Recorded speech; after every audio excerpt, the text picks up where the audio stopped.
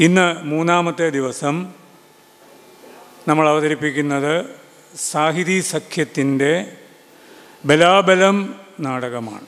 കൃഷ്ണപിള്ള സാറിന്റെ അതിശക്തമായ മറ്റൊരു നാടകമാണ് ബലാബലം. ആയിരത്തി തൊള്ളായിരത്തി നാൽപ്പത്തി അഞ്ചിലാണ് ബലാബലം ഇറങ്ങിയത്. ആ നാടകമാണ് ഇന്നിവിടെ സാഹിതി സഖ്യം കാര്യവട്ടം ശ്രീകണ്ഠൻ നായരുടെ സംവിധാനത്തിൽ അവതരിപ്പിക്കുന്നത്. അതിന് മുന്നോടിയായി ബലാബലത്തെക്കുറിച്ച് Kerala Chalachitra academy vice chairman നാടക സീരിയൽ ചലച്ചിത്ര നടൻ ശ്രീ പ്രേംകുമാർ നമ്മോട് സംസാരിക്കും.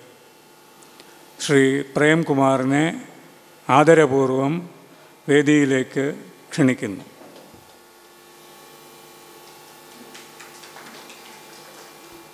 ശ്രീ പ്രേംകുമാറിന്റെ പ്രഭാഷണം. ഗുരുജനങ്ങളെ പ്രിയമുള്ളവരെ ഒരു മികച്ച നാടകം കാണാൻ കാത്തിരിക്കുന്ന നിങ്ങളുടെ മുമ്പിൽ എഴുമറ്റൂർ സാർ എന്നോടുള്ളൊരു സ്നേഹം കൊണ്ടാണ് ഞാനൊരു പ്രഭാഷണം നടത്തുമെന്നൊക്കെ പറഞ്ഞതെങ്കിലും അങ്ങനൊരു പ്രഭാഷണം നടത്തുന്നത് ഉചിതമല്ല എന്നെനിക്കറിയാം.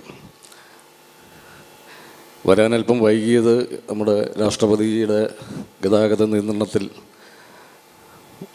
ആയിപ്പോയത് കൊണ്ടാണ് അതിനൊരു ക്ഷമ ചോദിക്കുകയാണ് ഞാൻ ആദ്യമേ. ഞാൻ ഇതിനു മുമ്പും കൃഷ്ണപിള്ള സാറിന്റെ അനുസ്മരണ പരിപാടികളിൽ മുമ്പും ഇവിടെ ഒരു സാന്നിധ്യമായിട്ടുണ്ട്. ഇപ്പോഴും അങ്ങനെ ഒരു സ്ഥിര സാന്നിധ്യമാണ് ഞാനിവിടെ. അങ്ങനെ ഒരു അതിഥിയായിട്ട് വന്നിട്ടുള്ളതുമല്ല. എഴുമറ്റൂർ സാറ് നടത്തുന്ന ഈ പ്രവർത്തനം അദ്ദേഹത്തിന്റെ ശരിക്കും ഒരു അത് ഒരു ഏറ്റവും വലിയൊരു നന്ദിയുടെയും ആദരവിന്റെയും ഒക്കെ ഒരു അത്തുങ്ക ശൃംഗത്തിൽ എന്ന് തന്നെ പറയാം. പ്രൊഫസർ എൻ കൃഷ്ണപിള്ള എന്ന് പറയുന്ന മലയാളത്തിന്റെ അക്കാലത്തെയും മഹാനായ നാടകകാരൻ.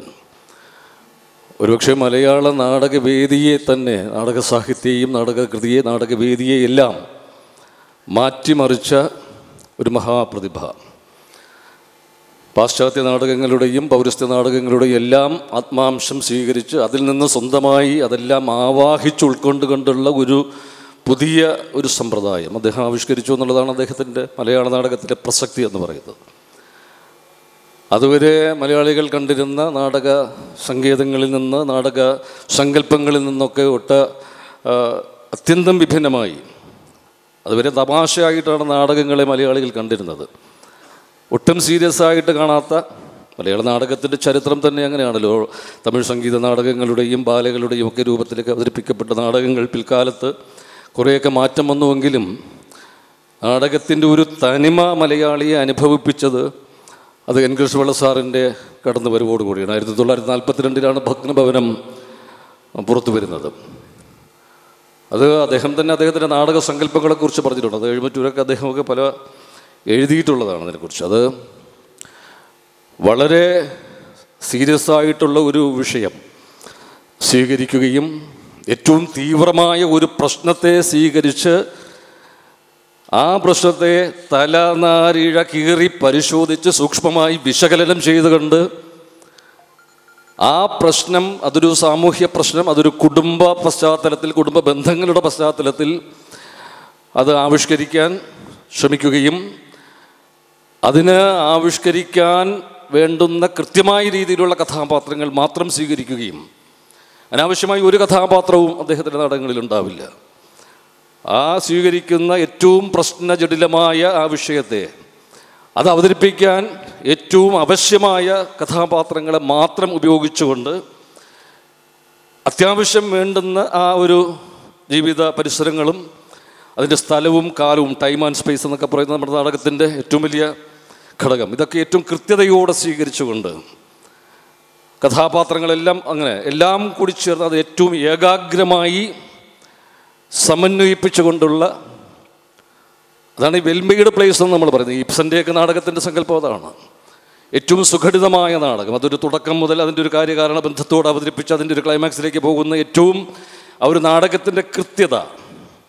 എല്ലാ അർത്ഥത്തിലുമുള്ള നാടകത്തിന്റെ ആ ഒരു കറക്റ്റായിട്ടുള്ള ആ ചേരുവകളെല്ലാം അങ്ങനെ ചേർത്ത് അതൊരു ആ ക്ലൈമാക്സ് ഇങ്ങനെ അവസാനിപ്പിക്കുന്ന രീതിയിലുള്ളൊരു നാടക സങ്കല്പം അത് ഏറ്റവും കൃത്യതയോടുകൂടി അവതരിപ്പിക്കുകയും മലയാള നാടകവേദി ആ ഒരു പുതിയ ഒരു നാടക രീതി ഏറ്റവും നന്നായി ഏറ്റവും കലാപരമായി ഏറ്റവും സൗന്ദര്യാത്മകമായി അവതരിപ്പിച്ചുകൊണ്ട് അത് പ്രേക്ഷകനിൽ പുതിയൊരു അനുഭൂതിയുടെ തലം അത് ഉളവാക്കുന്നതായിരുന്നു എൻ കൃഷ്ണപിള്ള സാറിന്റെ എല്ലാ നാടകങ്ങളും. കന്യകയായാലും ബലാബലമായാലും അഴിമുഖത്തേക്കായാലും ഭഗ്നഭവനമായാലും ഒക്കെ.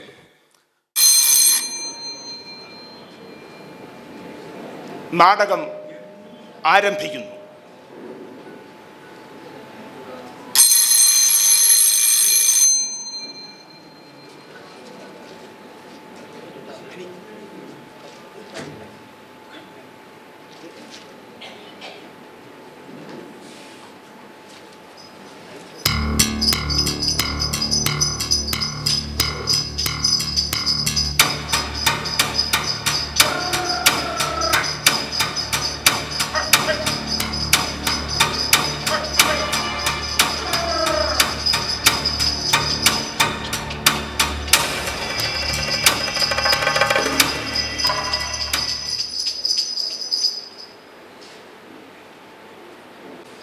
നാടകം ബലാബലം നാടകരചന പ്രൊഫസർ എൻ കൃഷ്ണപിള്ള.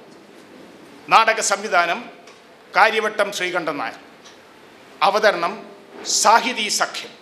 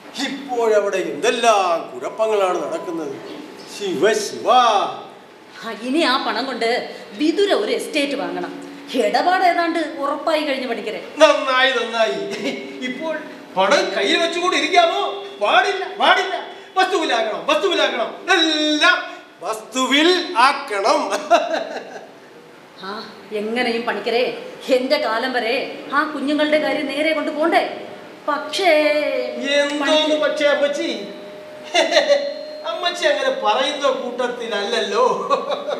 പിന്നെ എന്തു പറ്റി? അത് കഴിഞ്ഞാ അവരുടെ കാര്യം ആര് നോക്കും? എല്ലാം അന്യാധീനത്തിലായി പോകും. അതിനതൊക്കെ തന്റെ ഇടം വല്ലത് അവർക്കുണ്ടോ? അവരുടെ അച്ഛന് തന്റെ ഇടമില്ലായിരുന്നെങ്കിൽ എനിക്കുണ്ടായിരുന്നു. അതുകൊണ്ട് കുഴപ്പമൊന്നും പറ്റിയില്ല. കൊള്ളാം കൊള്ളാം. അദ്ദേഹത്തിന് ഈ വക കാര്യങ്ങളെ പറ്റി വല്ല നോട്ടം ഉണ്ടായിരുന്നോ? ഇല്ലല്ലോ. പിന്നെ അമ്മച്ചിയുടെ ചൊൽപ്പടിയിലായത് കൊണ്ടല്ലേ വലിയ നാനാവിധങ്ങളൊന്നും കൂടായിരുന്നത്? അമ്മച്ചി ഇല്ലായിരുന്നെങ്കിൽ അറിയാമായിരുന്നു സംഗതികളെ പോക്ക്. ഞാൻ വരയ്ക്കുന്ന വരയ്ക്കപ്പുറം അദ്ദേഹം പോകാതിരുന്നത് കൊണ്ട് ഇപ്പൊ ഇത്രയും ഉണ്ട്. ആ പിന്നെ പിടിക്കരേ. എന്നെ അദ്ദേഹം ഇവിടെ കൊണ്ടുവന്ന സമയത്ത് അദ്ദേഹത്തെ മെരുക്കാൻ ഞാൻ പെട്ട പാട്. പണിക്കർക്ക് കേൾക്കണോ. നല്ല രസമുള്ള കഥ. അത് പിന്നെ അമ്പച്ചി പറഞ്ഞാൽ യാതിന് ഉണ്ടല്ലോ ഒരു രസം. ഞാനിവിടെ വന്ന ഇടയ്ക്ക് എനിക്ക് അദ്ദേഹത്തിന്റെ മുഖത്ത് നോക്കാൻ തന്നെ എന്തൊരു പേടിയായിരുന്നു. സിംഹത്തിന്റെ ഗാംഭീര്യമല്ലോ. വല്ലതും ഒന്ന് മിണ്ടുമോ? നമ്മളെങ്ങാനും ഒന്ന് ആ മുമ്പിലൂടെ ഉറച്ചൊന്ന് നടന്നു പോയാൽ ദുർവാസാവിന്റെ കോപം. അത് പിന്നെ അറിഞ്ഞൂടെ ആ മജിസ്ട്രേറ്റിനെ കാലി വലിച്ചടിച്ചത് ആ മേനോ ജഡ്ജിയെ കോടതി മുറിക്ക് അകത്ത് വെച്ച് ചീത്ത പറഞ്ഞത്. ആദ്യമൊക്കെ പരിഭ്രമിച്ചെങ്കിലും ഞാനും വിചാരിച്ചു ഈ വിക്രമിയെ നേരെ വിട്ടുടക്കും. അങ്ങനെ അങ്ങ് വിട്ടാ പിന്നെ കൂടെ പൊറുക്കാൻ വല്ല സുഖം ഇല്ലല്ലോ. ഒടുവിൽ അമ്മച്ചി പിടിച്ചടത്ത് തന്നെ നിന്നില്ലേ? കാര്യം ഒന്ന് തുമ്മണമെങ്കിൽ അമ്മച്ചി പറയണമെന്നാണില്ലേ എന്ത്? എത്ര എളുപ്പം പണിക്കരുതെന്ന് പറഞ്ഞു. അതിന് ഞാൻ പെട്ട പാട്. എത്ര കഷ്ടപ്പെട്ടാലെന്തമ്മച്ചി കാര്യലാഭം ഉണ്ടായല്ലോ.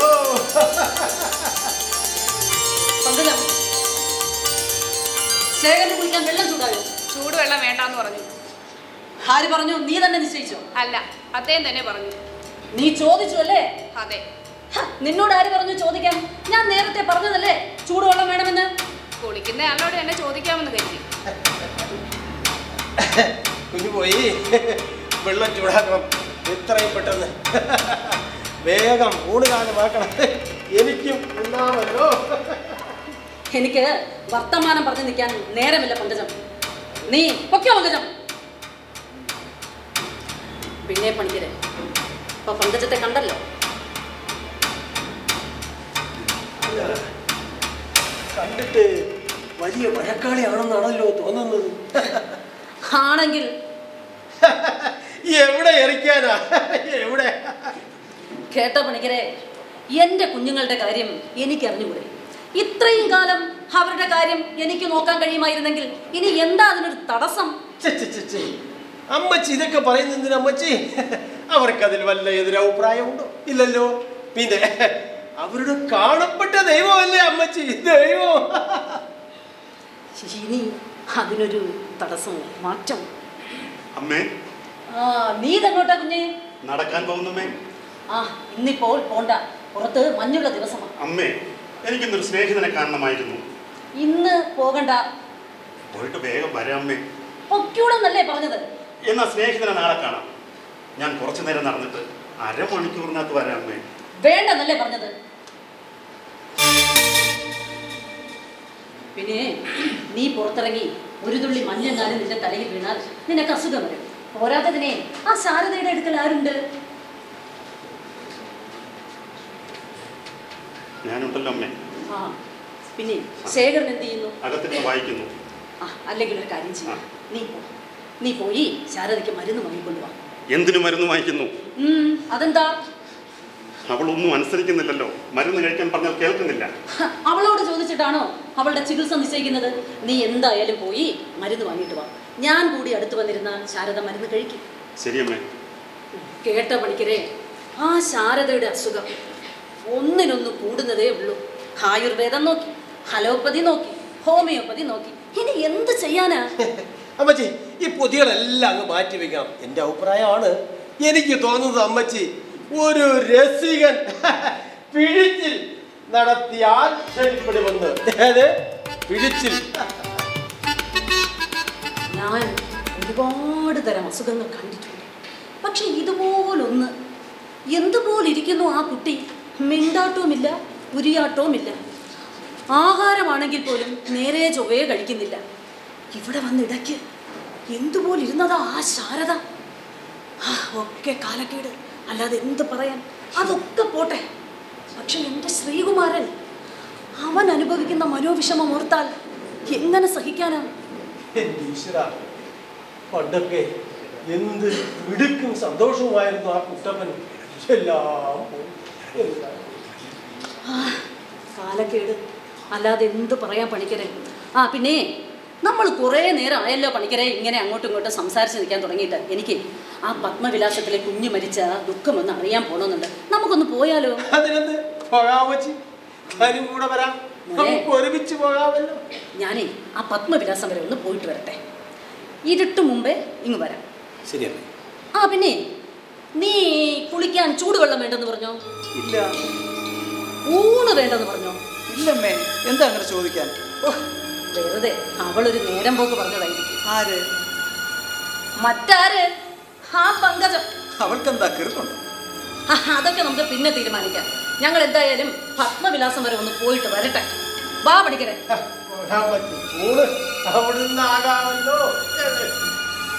ഭ്രാന്തും നേരം പോക്കും ഇല്ലാത്ത അവസരമില്ല.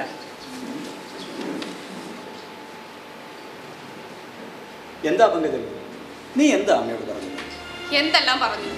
ചൂടുവെള്ളം വേണ്ടെന്നും ഉച്ചയ്ക്ക് ചോറ് വേണ്ടെന്നും ഞാൻ പറഞ്ഞതായിട്ട് പറഞ്ഞു. പറഞ്ഞു. എന്തിന്? ഞാൻ അങ്ങനെ പറഞ്ഞിട്ടില്ലല്ലോ. ഇല്ല. പിന്നെ?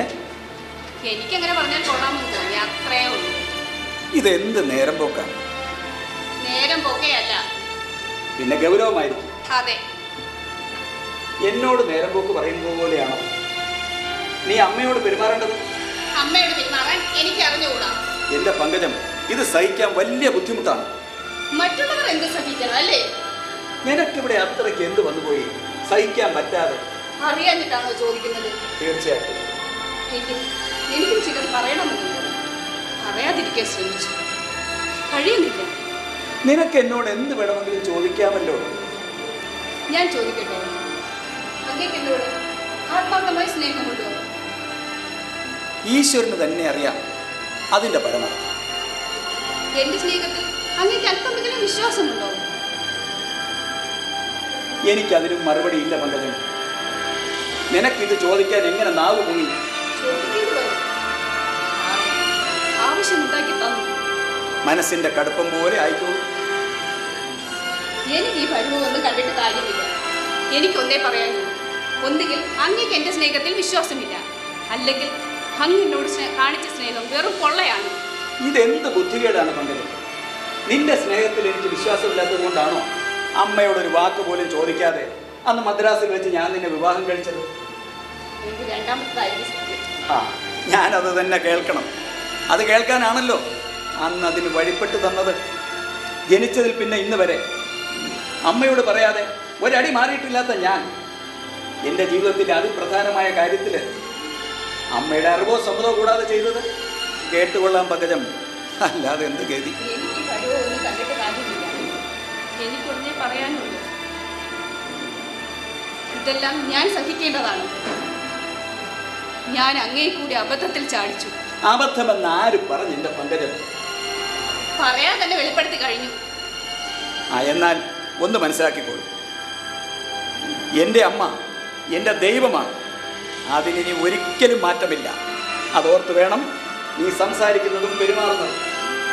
ഞാനൊരു ചോദ്യം കൂടി ചോദിച്ചോട്ടെ? എന്റെ സ്നേഹത്തിൽ ആത്മാർത്ഥമായ വിശ്വാസമുണ്ടോ? അതിനെനിക്ക് മറുപടിയില്ല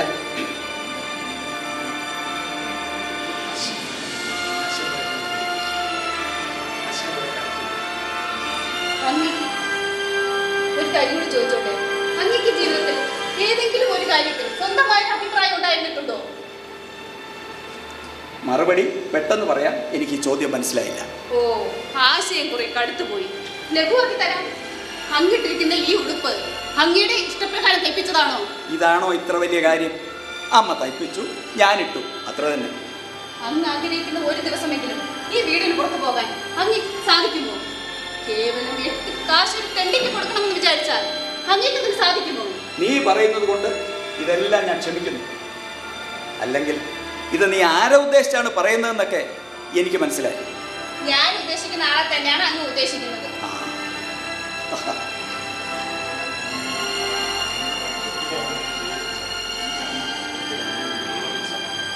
എന്റെ അമ്മ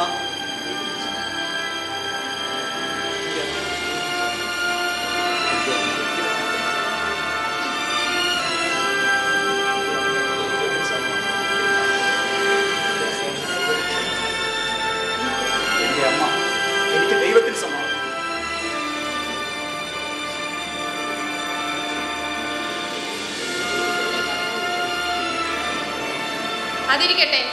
എനിക്കൊരു കാര്യം കൂടി അറിയണമെന്ന് അറിയണമെന്നുണ്ട്. അങ്ങേക്ക്.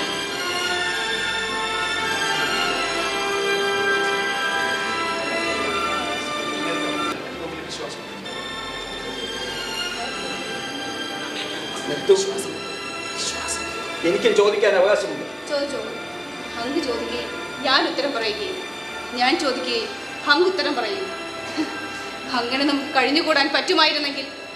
അങ്ങനെയല്ലേ ഇന്ന് വരെ നമ്മളിവിടെ ജീവിച്ചത്? എന്നുവരെ എന്നാണ് സംശയം? പങ്കജം നമ്മുടെ സുഖവും സന്തോഷവും സമാധാനവും എല്ലാം ഒരേ ഒരാളിനെ ആശ്രയിച്ചാണ് ഇരിക്കുന്നത് നേരെ തന്നെ പറയൂ. ആ ആളാണ് അങ്ങയുടെ അമ്മ. ബുദ്ധിയുള്ളവർക്ക് കാര്യം ഗ്രഹിക്കാൻ വിഷമമില്ലല്ലോ. അതെ ഞാൻ ഇവിടെ വന്ന് കുറച്ച് ദിവസം കഴിയുന്നതിന് മുമ്പ് തന്നെ ഞാൻ അത് മനസ്സിലാക്കി. ഞാൻ അമ്മയെ കാണുന്നതിന് മുമ്പ് എനിക്കത് ബോധ്യമായി. കാണുന്നതിന് മുമ്പോ? ദേവി. അങ്ങ് മദ്രാസിൽ വെച്ച് എത്ര നാഴിക നേരമാണ് അമ്മയെ കുറിച്ച് പ്രസംഗിച്ചിട്ടുള്ളത്? വേറെ ഏതെങ്കിലും ഒരു വിഷയത്തെ കുറിച്ച് അങ്ങ് ഇത്രമാത്രം എന്നോട് സംസാരിച്ചിട്ടുണ്ടോ? എനിക്ക് പറയാൻ മറ്റൊരാളില്ല പങ്കജം. എത്ര പറഞ്ഞാലും ഏറിപ്പോവുകയില്ലെന്ന് നിനക്ക് ഇവിടെ വന്നപ്പോൾ ബോധ്യമായില്ലേ? അന്ന് ഞാൻ പറഞ്ഞതൊന്നും നിനക്ക് വിശ്വാസം വന്നിരിക്കുകയില്ല എന്നാൽ ഇവിടെ വന്നപ്പോഴെന്താ? പൂർണ ബോധ്യമായില്ലേ? അതെ അവിടെ വെച്ചുണ്ടായിരുന്നാൽ ചില സംശയങ്ങൾ ഇവിടെ വന്നപ്പോൾ തീർന്നു. തീർച്ചയാണല്ലോ. അതെ. എന്നാൽ ഈ ചോദിച്ച ചോദ്യങ്ങളൊക്കെ അനാവശ്യമല്ലേ? എനിക്ക് അങ്ങനെ തോന്നുന്നില്ല. അങ്ങ് വിവാഹിതനാണ്. അങ്ങക്കൊരു ഭാര്യയുണ്ട്. ഇതൊക്കെ അങ്ങ് ആരെങ്കിലും പറഞ്ഞ് അറിയേണ്ടി വന്നിരിക്കുന്നു. കഷ്ടം. വെറുതെ അതും ഇതും പറയാതെ മനസ്സിലിരിക്കുന്നത് നേരെ പുറത്തു വിടൂ പങ്കജം കെട്ടുപിട്ട് കിടക്കുന്നവൻ തന്നെ പൊരിഞ്ഞിരിക്കുന്ന ചങ്ങല മിന്നുന്ന സ്വർണം കൊണ്ട് തീർത്തതാണെന്ന് അഭിമാനിക്കുന്നത്. ഭോഷത്വമാണ് നീയൊരു ഉപദേശക്കാരി. അതെ ഞാനൊരു ഭാര്യ. ഭർത്താവിനോട് ഉപദേശിക്കുന്നു. ആ ചങ്ങല പൊട്ടിച്ചറിയാൻ അങ്ങയ്ക്ക് ഓർമ്മയുണ്ടോ? അല്ല ഇപ്പോൾ മറന്നുപോയിരിക്കും. അന്ന് മദ്രാസിൽ വെച്ച് എന്റെ പിറകെ ഒരു പിച്ചക്കാരനെ പോലെ അലഞ്ഞു തിരിഞ്ഞത്. ഞാനൊന്ന് നോക്കാൻ വേണ്ടി നട്ടുച്ചയ്ക്ക് ഇരുവയിലെ തപസ് ചെയ്തത്? ജീവിതത്തിന്റെ കല്ലും നെല്ലും തിരിയാതിരുന്ന സമയത്ത് അങ്ങേ വിശ്വസിച്ച് ഞാൻ എന്റെ ഹൃദയം ആ കാൽക്കൽ കാഴ്ചവെച്ചു അതിനുള്ള പ്രതിഫലം ഇതാണെങ്കിൽ നീ ഇത്ര ശുദ്ധഗതിക്കാരിയായി പോയല്ലോ പങ്കജം ഞാനോ ശുദ്ധഗതിക്കാരി? ഞാൻ പാപിയാണ്. നശിച്ചവളാണ് അല്ലെങ്കിൽ ഞാൻ അങ്ങയുടെ ആഗ്രഹത്തിന് വഴങ്ങുമായിരുന്നു.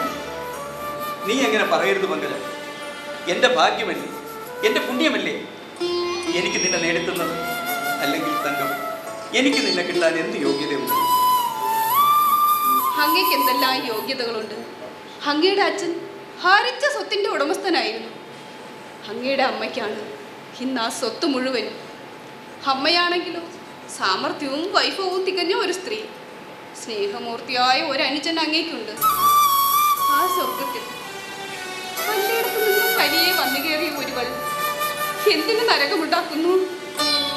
നീ ഇങ്ങനെ ദുഃഖിക്കരുത് മകരം നിന്റെ ഗുണങ്ങൾ നിനക്ക് അറിയാൻ കഴിയുന്നില്ല. കഷ്ടം. അതിനിടയ്ക്ക് നീ കരയുകയും ചെയ്തല്ലോ. കരയാൻ ജനിച്ചവർ കരയുക തന്നെ വേണം. നീ സദാ പുഞ്ചിരി പൊടിക്കേണ്ടവളാണ് ഈ തെറ്റിദ്ധാരണ നശിച്ചിരുന്നെങ്കിൽ. തെറ്റാണെങ്കിലല്ലേ നശിക്കേണ്ടതുള്ളൂ.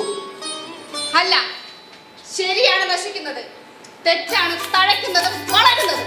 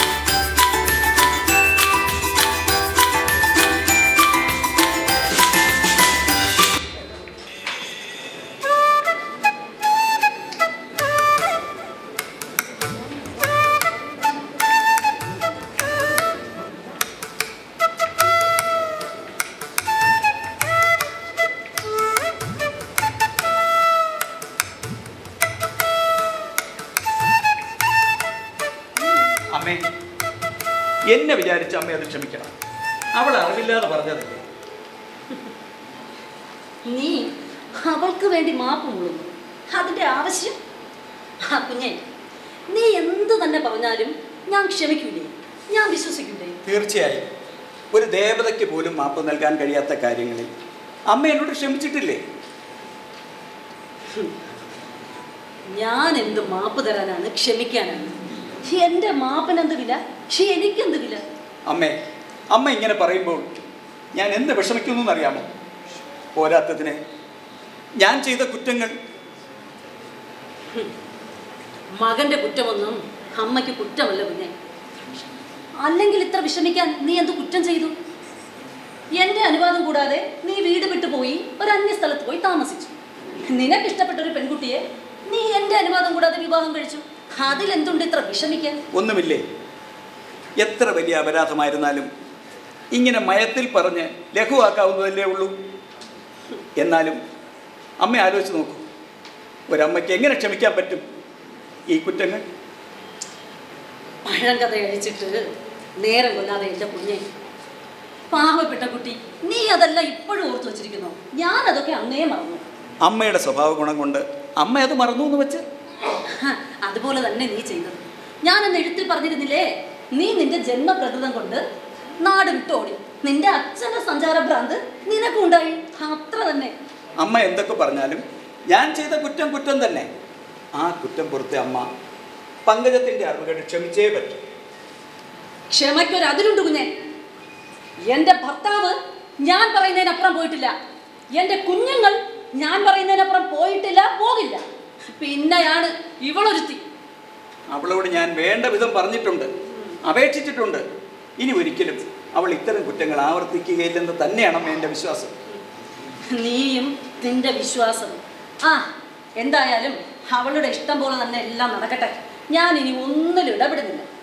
അമ്മയുടെ കാലം വരെ അമ്മ തന്നെയാണ് ഈ വീടിന് താങ്ങും തണലും. അമ്മ ഇങ്ങനെ പറയാൻ തുടങ്ങിയാൽ പിന്നെ ഞങ്ങൾ ജീവിച്ചിരിക്കില്ല. സത്യം. ആ പങ്കജത്തിനെ ആരുമില്ലാതായി പോകും. നീ ഇങ്ങനെയൊക്കെ സത്യം ചെയ്യാൻ തുടങ്ങിയാൽ. എന്നെ ഭ്രാന്ത് പിടിപ്പിക്കാനാണ് ഒരുക്കമെങ്കിൽ ഞാൻ എന്ത് വേണമെങ്കിലും കേട്ടോളാം. അല്ലെങ്കിൽ പോരെങ്കിൽ ഈ ഭാരമൊക്കെ ഒന്ന് ഒഴിഞ്ഞു വെച്ച് ഈ വയസ്സാം കാലത്ത് വല്ല ഈശ്വര ഭജനവും തീർത്ഥയാത്രയുമായി കഴിയണമെന്ന് ഞാൻ എന്നേ വിചാരിക്കുന്നു. തീർത്ഥയാത്ര പോകുന്നത് ആരാണെന്നൊക്കെ നമുക്ക് പിന്നീട് തീരുമാനിക്കാം.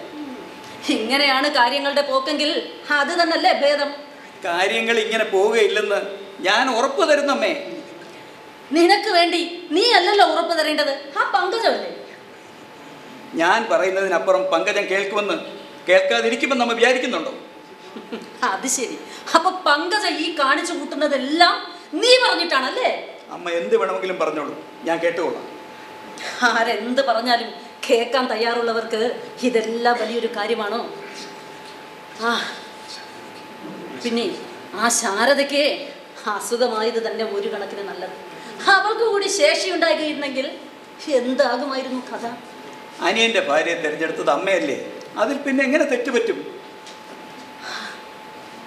ആ പാവപ്പെട്ട കുട്ടി ശ്രീകുമാരൻ. ഞാനൊരു അസുഖക്കാരിയെയാണ് ഉണ്ടാക്കി കൊടുത്തു.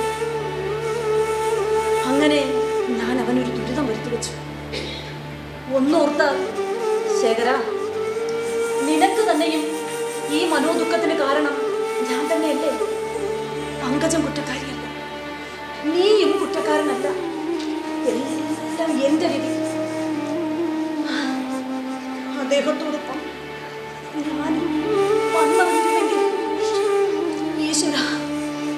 എങ്കിൽ ഞങ്ങളുടെ അവസ്ഥ ഇപ്പോൾ എന്താകുമായിരുന്നു? ഈശ്വര.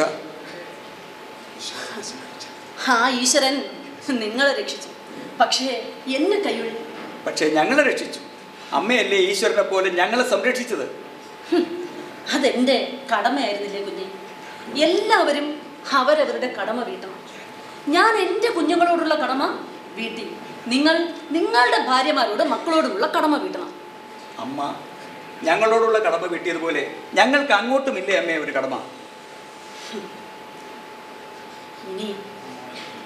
ഇതൊക്കെ തന്നെ ഇങ്ങനെ പറഞ്ഞുകൊണ്ടിരുന്നാൽ പറ്റില്ലല്ലോ. പെറ്റമ്മമാര് മക്കളെ സ്നേഹിക്കുന്നത് ഇങ്ങനെ അവർ കടമ ചെയ്യും എന്നൊന്നും വിചാരിച്ചല്ല. ആ ശേഖര പിന്നെ കുറച്ചേറെ നേരമായി നീ ഇങ്ങനെ ഇരിക്കുന്നു. നിനക്ക് കുളിക്കാനുള്ള നേരം താമസിച്ചു. നീ പോയി കുളിക്ക. നേ കുളിക്കാനുള്ള നേരം അമാന്തിച്ചു. എന്റെ അപേക്ഷ അമ്മ കേട്ടേ മതിയാകും. അമ്മയുടെ ഈ ശേഖരനെ കരുതി അമ്മ പങ്കജത്തിന് മാപ്പ് കൊടുക്കണം.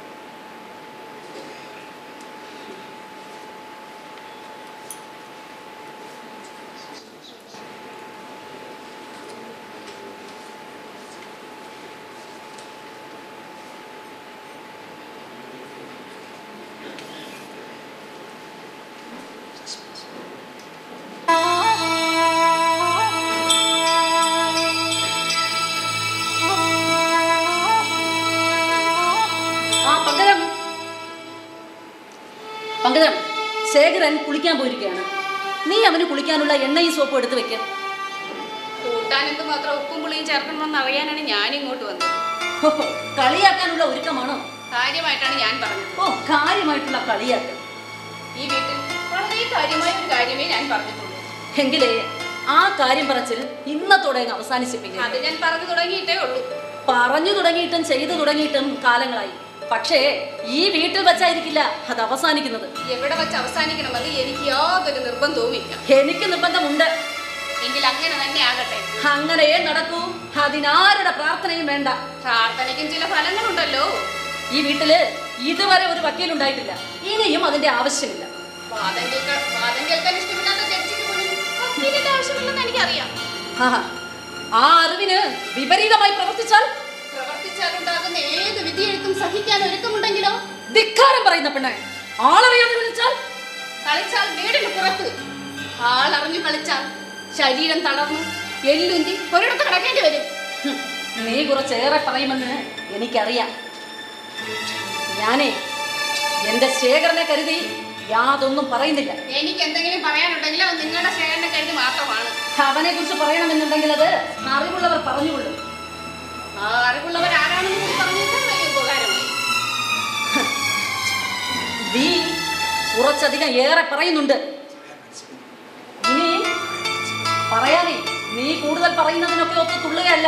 എനിക്ക് പറയാൻ ഇപ്പോൾ മനസ്സില്ല. ആ കോപം ആളിനെ വെളിപ്പെടുത്തി കഴിഞ്ഞു. എങ്കിൽ പിന്നെ ആ ആളിന് നീ കൊടുക്കുന്ന ശിക്ഷ കൂടി എന്ന് പറഞ്ഞാട്ടെ? ശിക്ഷ കൊടുക്കേണ്ടത് ഞാനല്ല കാലമാണ്.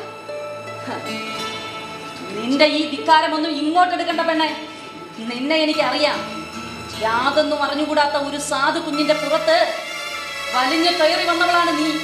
നീ ഇവിടെ വരുന്നതിന് മുമ്പ് തന്നെ നീ ഏത് നിരക്കാരില്ലെന്ന് ഞാനിങ് അറിഞ്ഞു. ഞാനിവിടെ വരുന്നതിന് മുമ്പ് തന്നെ എനിക്ക് മനസ്സിലായിരുന്നു എന്റെ അമ്മായിയമ്മയുടെ തരം. എങ്കിലേ ആ അറിവ് അവിടെ തന്നെ വെച്ചോണ്ടിരുന്നോ. ഇങ്ങോട്ട് എടുക്കണ്ട. കേട്ടോ? നീ പലപ്പോഴും തീയോടാണ് കളിക്കുന്നതെന്ന് നിനക്കറിയില്ല. തീയോട് വെള്ളമാണ് കളിക്കുന്നതെങ്കിൽ എന്തായാലും ശരി. നീ എത്ര ധിക്കാരം പറഞ്ഞാലും അതൊന്നും തന്നെ ഇവിടെ നടക്കാൻ പോകുന്നില്ല. കേട്ടോ പങ്കജം? ഞാനേ ഇവിടെ എന്തെങ്കിലും നിശ്ചയിക്കുന്നെങ്കിൽ ഇനി തൊട്ട് അത് മാത്രമേ നടക്കുകയുള്ളൂ. അത് മാത്രം നടന്നാൽ മതി. ആ ഞാൻ എന്റെ ശേഖരനെ കരുതി മാത്രമല്ല ഇത്രയും കാലം ഞാൻ ക്ഷമിച്ചത്. ഇനി ആളറിയാതെ നീ ഇങ്ങനെ മുന്നോട്ട് പോവുകയാണെങ്കിൽ നമ്മുടെ ഈ പ്രശ്നങ്ങൾ വഷളായി മാത്രമേ പോവുകയുള്ളൂ. കേട്ടോ പങ്കജം ഇനി കൂടുതലൊന്നും പറയാൻ ഞാൻ നിൽക്കുന്നില്ല. ഞാൻ ഒരു കാര്യം മാത്രം പറയാം. നിനക്ക് എന്തെങ്കിലും അറിയാമെന്നുണ്ടെങ്കിൽ ആ അറിവ് വച്ച് അവിടെ ഇരുന്നോ. അതിന് യാതൊരു പ്രയോജനവും ഉണ്ടാവാൻ പോകുന്നില്ല.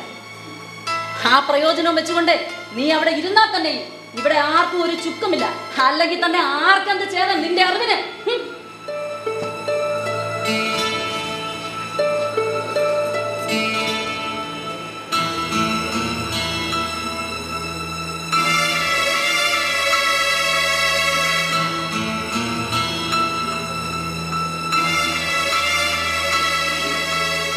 അമ്മ എവിടെ എടുത്തി? ഇപ്പൊ ഇവിടെ അകത്തേക്ക് പോയി. ചേട്ടൻ എവിടെ? കുളിക്കാൻ പോയെന്ന് അമ്മ പറഞ്ഞു. ചേട്ടത്തി ശാരദയ്ക്ക് ഇന്ന് സുഖക്കേട് കൂടുതലാണെന്ന് തോന്നുന്നു. ശരീരത്തിന് വലിയ ക്ഷീണം. മുഖത്തിന് വിളർച്ചയും കൂടുതൽ. നാളെ ഇന്നത്തേക്കാൾ കൂടും അതെന്താ ചേട്ടത്തി അങ്ങനെ പറഞ്ഞത്? എനിക്കങ്ങനെ തോന്നി. തോന്നാൻ കാരണം? ഓ അത് പറഞ്ഞിട്ട് കാര്യമില്ല. അല്ല മരുന്ന് മുറയ്ക്ക് കൊടുക്കുന്നുണ്ടല്ലോ. അക്കാര്യത്തിൽ അമ്മയ്ക്ക് വലിയ നിഷ്കർഷയല്ലേ? അമ്മയുടെ നിഷ്കർഷ കൊണ്ടാണ് ഇങ്ങനെയെങ്കിലും ഇരിക്കുന്നത്. അമ്മ പറഞ്ഞാലേ അവൾ അനുസരിക്കൂ. കുറച്ചൊക്കെ പേടിയില്ലെങ്കിൽ രോഗികൾ മരുന്ന് കഴിക്കുമോ? ശാരദ പേടിച്ചു തന്നെ മരുന്ന് കഴിക്കുന്നത്. മരുന്ന് കഴിക്കുക മാത്രമല്ല. പിന്നെ? ജീവിക്കുന്നത് തന്നെ പേടിച്ചാണ്. ജീവിക്കുന്നത് പേടിച്ചോ? എനിക്കൊന്നും മനസ്സിലാകുന്നില്ല ഏട്ടത്തി. ഓ അത് പറഞ്ഞാൽ മനസ്സിലാവില്ല. അനുഭവിച്ചറിയാനേ പറ്റൂ. അല്ല ശാരദ ഇവിടെ വന്ന്? എത്ര നാൾ കഴിഞ്ഞാണ് അസുഖം ആരംഭിച്ചത്? അഞ്ചാറ് മാസം കഴിഞ്ഞ. വന്ന കാലത്ത് എന്തുല്ലാസമായിരുന്നു അവൾക്ക്. സദാ ഉന്മേഷവും ഉത്സാഹവും. അന്നാണ് ചേട്ടത്തി പരമാർത്ഥത്തിൽ ഞാനൊരു പുരുഷനായി ജീവിച്ചത്. ഇവിടെ സന്തോഷിച്ചാലെന്ത്? വാത്സല്യനിധിയായ ഒരു അമ്മായി സ്നേഹസമ്പന്നനായ ഭർത്താവ്. അവൾ സ്വർഗം തന്നെ അനുഭവിച്ചിരിക്കും. എന്നിട്ട് ഈശ്വര പിന്നീടത്തെ അവസ്ഥ. അവൾക്ക് തനിച്ചിരിക്കാൻ താല്പര്യം കൂടി. അമ്മയുടെ അടുക്കൽ പോവുകയില്ല പോയാൽ തന്നെ പേടിച്ചരണ്ട മട്ടിൽ. സംസാരിക്കാൻ വലിയ മടിയായി. നൂറ് കൂട്ടം അങ്ങോട്ട് ചോദിച്ചാൽ ഒരു വാക്കോ മറ്റോ കഷ്ടിച്ചു പറഞ്ഞാലായി. ഇതെല്ലാം സഹിക്കാം. നാൾക്കുനാൾ ദേഹം മെലിഞ്ഞ് വിറകുകൊള്ളി പോലെയായി എന്റെ ശാരദ. ഇപ്പോഴിതാ എത്രയോ ദിവസമായി ഒരേ കിടപ്പിൽ കിടന്നിട്ട് കണ്ണീര് തുടയ്ക്കാതെ എനിക്ക് കാണാൻ വയ്യ ചേട്ടത്തി ആ കോലം. എന്തിനേറെ പറയുന്നു? ഈ ഭാഗ്യം കെട്ടവന്റെ ഭാര്യയാകാൻ വിരിച്ചത് കൊണ്ടാവാം അവൾക്ക് ഗതി വന്നത്. ഇവിടത്തെ ആനന്ദത്തിന്റെ കൂടുതൽ കൊണ്ട് ശാരദയുടെ തലയ്ക്ക് എന്തോ സുഖക്കേട് സംഭവിച്ചതാണ്. എന്തു വന്നാലും അനുഭവിക്കേണ്ടത് ഈ പാവിയാണല്ലോ ഏട്ടത്തി. എത്ര ദിവസമായി ഞാനൊന്ന് ഉറങ്ങിയിട്ട്. മനസ്സിന് പിടിച്ച എന്തെങ്കിലും ഒന്ന് കഴിച്ചിട്ട്. എന്നെ ജീവനേക്കാൾ ഏറെ സ്നേഹിക്കുന്ന ആ പാവത്തിന്റെ കിടപ്പ് കണ്ടാൽ എങ്ങനെ എങ്ങനെ ഉണ്ണാനും ഉറങ്ങാനും സാധിക്കും? അമ്മ പലപ്പോഴും സഹായിക്കാറുണ്ട് കുളിക്കാനും സമയത്തിന് വല്ലതും കഴിക്കാനും ഉറങ്ങാനും ഒക്കെ. അമ്മയെ ഭയന്നതെല്ലാം ചെയ്തെന്ന് വരുത്തി കൂട്ടുന്നു എന്ന് മാത്രം. ഇങ്ങനെ മകൻ ഭയപ്പെടുന്ന ഒരമ്മയ്ക്ക് എന്ത് മനോവേദനയായിരിക്കും ശാരദയുടെ കാര്യത്തിൽ? ആലോചിച്ച് നോക്ക്.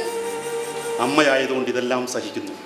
പോരെങ്കിൽ അമ്മ തന്നെ ആലോചിച്ച് അമ്മയ്ക്ക് വളരെ ബോധിച്ച ഒരു പെൺകുട്ടിയെ തിരഞ്ഞെടുത്തതല്ലേ? അതിങ്ങനെയായാൽ അമ്മയ്ക്ക് എത്ര സങ്കടമായിരിക്കും? ചേട്ടൻ തിരിച്ചെത്തിയിട്ട് മതി എന്റെ വിവാഹമെന്ന് ഞാൻ പറഞ്ഞിട്ടും. അതൊന്നും കേൾക്കാതെ എത്ര പെട്ടെന്നാണ് അമ്മ നടത്തിയത്?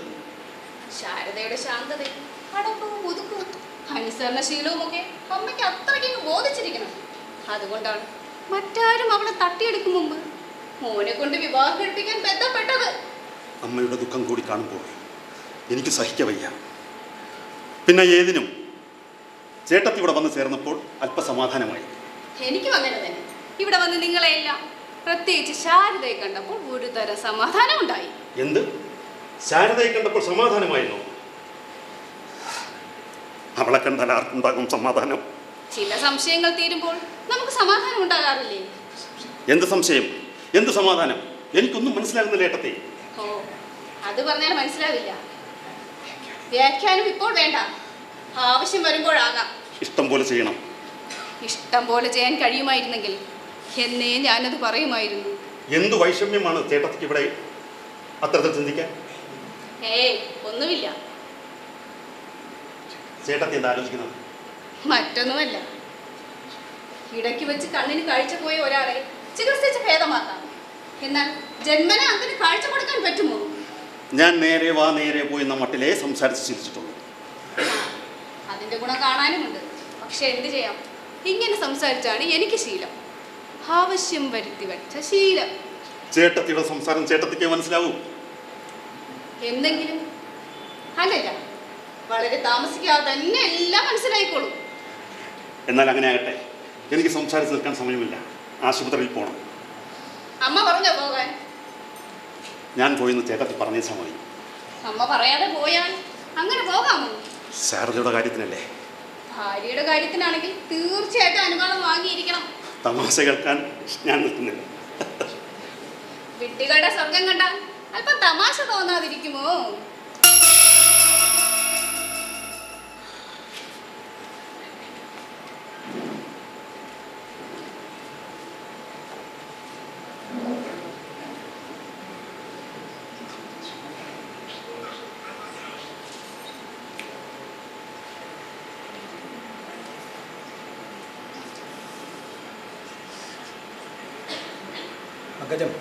ആ ഉടുപ്പും കൊണ്ട് ഞാൻ ഏതെടുക്കും കൊണ്ടും അമ്മ ഇതെടുത്ത് വെച്ചിട്ടില്ലേ?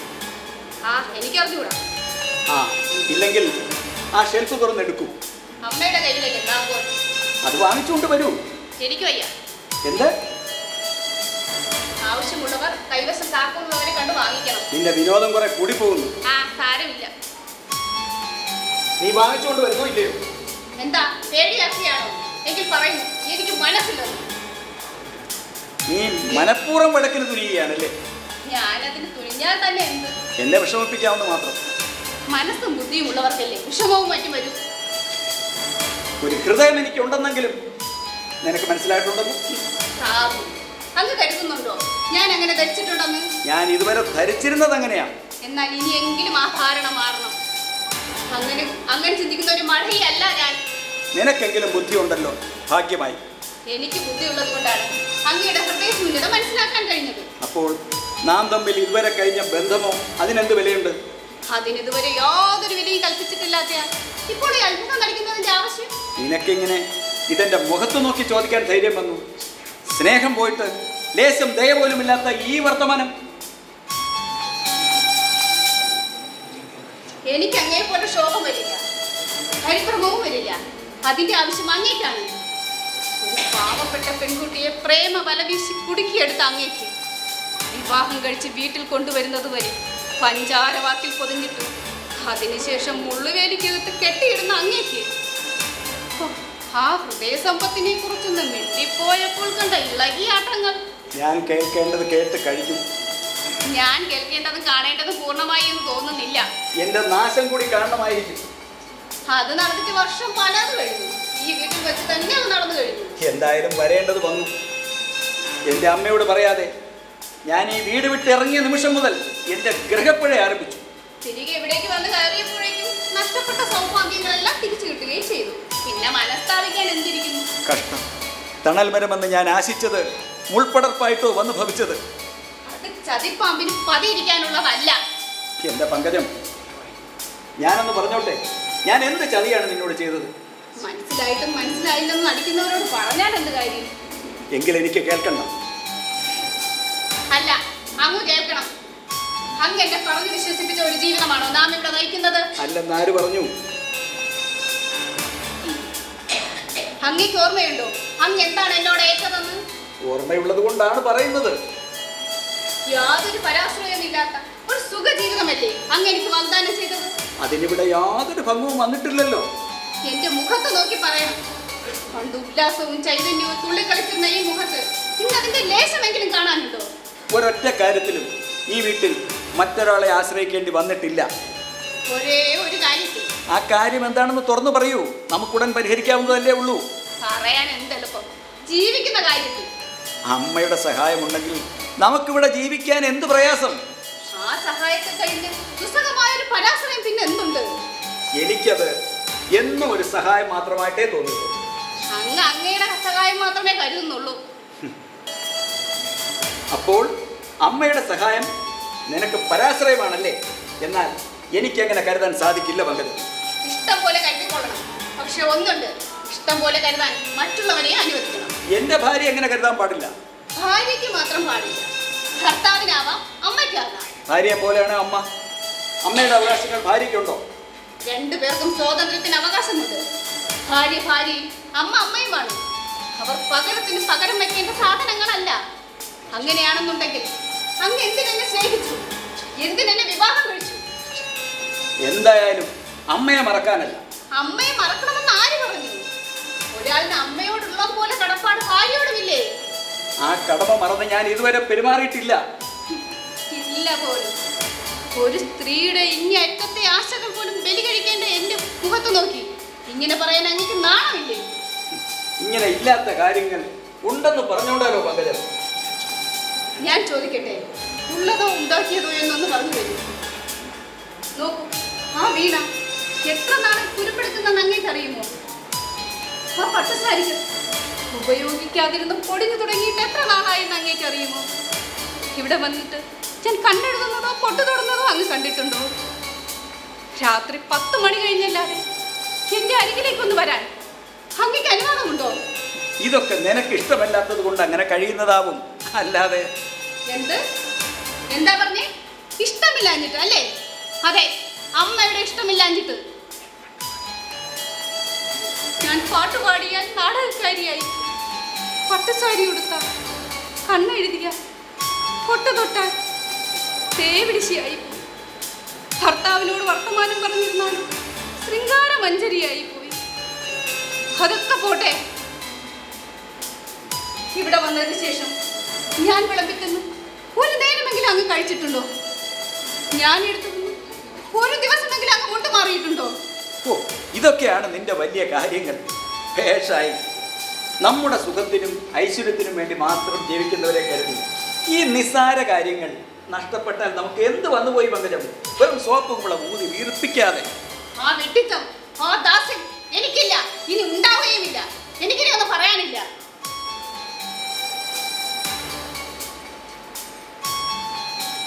ദാ, കൊണ്ടുമാറിക്കോളൂ ഇത് നീ ഒളിപ്പിച്ചു വെച്ചു. എന്തിന്? മനസ്സായിട്ട്.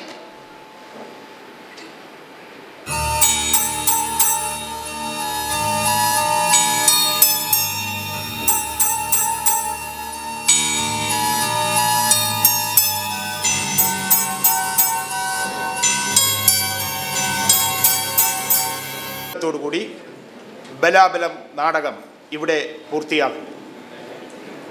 ബലാബലത്തിൽ സഹകരണവും സഹായവും സാന്നിധ്യവും കൊണ്ട് അനുഗ്രഹിച്ചവർ. സഹസംവിധാനം അനിൽകുമാർ ബി കെ. സാങ്കേതിക സഹായം തിരുമല ശിവൻകുട്ടി എം കെ ശ്രീധരൻ പുനലൂർ വിശ്വംഭരൻ ദീപപ്രസരണം ബിജു കലാവേദി ബിജു ക്ലാപ്സ് പശ്ചാത്തല സംഗീതവും നിയന്ത്രണവും സ്റ്റീഫൻ വട്ടിയൂർക്കാവ്. രംഗകല സജ്ജീകരണം പ്രദീപ് ഐരൂപ്പാറ. നാടകരചന എൻ കൃഷ്ണപിള്ള. ഗാനരചന സംവിധാനം കാര്യവട്ടം ശ്രീകണ്ഠൻ നായർ. നിർമ്മാണം പ്രൊഫസർ എൻ കൃഷ്ണപിള്ള ഫൗണ്ടേഷൻ. സഹായവും സഹകരണവും ഡോക്ടർ എഴുമറ്റൂർ രാജരാജവർമ്മ ഡോക്ടർ സത്യനാരായണ ഭട്ട് ശ്രീജി ഗീത അവതരണം സാഹിതി സഖ്യം തിരുവനന്തപുരം. ഏവരുടെയും അനുഗ്രഹാശിസുകളോടെ തുടരുന്നു. ഈ ഒരു രംഗത്തോടുകൂടി ബലാബലം നാടകം ഇവിടെ ഇന്ന് പൂർത്തിയാകുന്നു. നന്ദി നമസ്കാരം.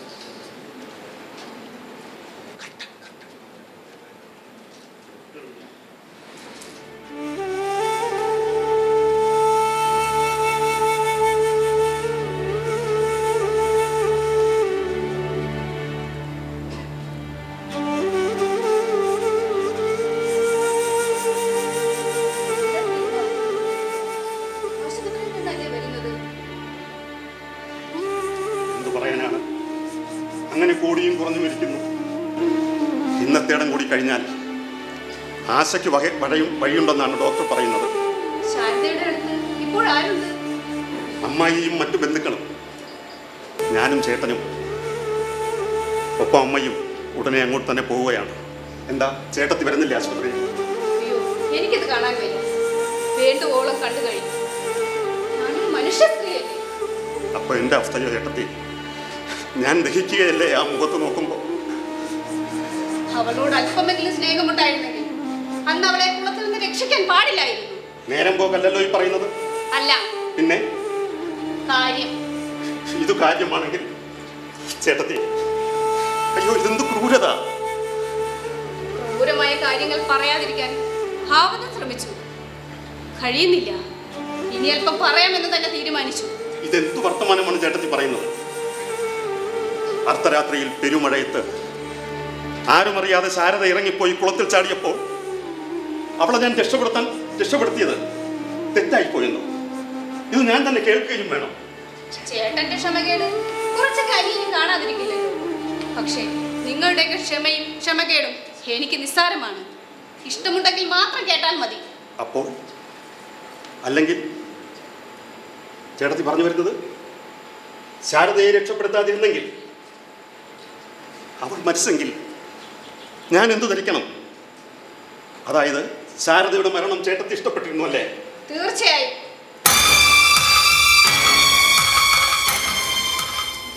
ശാരദ ജീവിച്ചിരിക്കുന്നതിനേക്കാൾ മരിക്കുന്നതാണ് എനിക്കിഷ്ടം. ചേട്ടത്തി എനിക്കൊന്നും കേൾക്കണ്ട.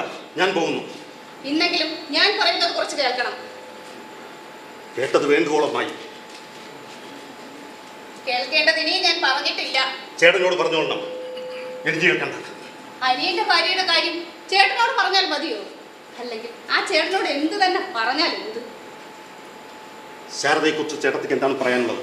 തെളിച്ചു പറയണം. ഇതുവരെ മനസ്സിലായില്ലേ? ഇനിയും സംശയമോ? എന്നാൽ പറയാം കേട്ടോളൂ. മരിക്കണമെന്ന അത്യാഗ്രഹത്തോടു കൂടി പ്രവർത്തിച്ച അവളെ തടഞ്ഞത് വലിയ പാതകമല്ലേ? ഇതാ പഴയ പറഞ്ഞു തന്നെ. ശാരദ മരിക്കാൻ ആഗ്രഹിച്ചു പോലും. അവൾക്ക് എന്താ അങ്ങനെ തോന്നാൻ? വായിൽ തോന്നിയത് വിളിച്ചു പറയുന്നത് വളരെ കഷ്ടമാണ്. ജീവിതത്തിലെ ആനന്ദം സഹിക്ക വയ്യാതെ ഒരുത്തി മരിക്കാൻ ഒരുങ്ങുമോ? ഈശ്വര ഇങ്ങനെയുണ്ടോ ഒരു ഭ്രാന്ത് പോലും ഭ്രാന്തോ സത്യമോ എന്ന് അടുത്തു തന്നെ അറിയാം. അതിനു മുൻപ് എനിക്ക് ചിലത് ചെയ്യാനുണ്ട്.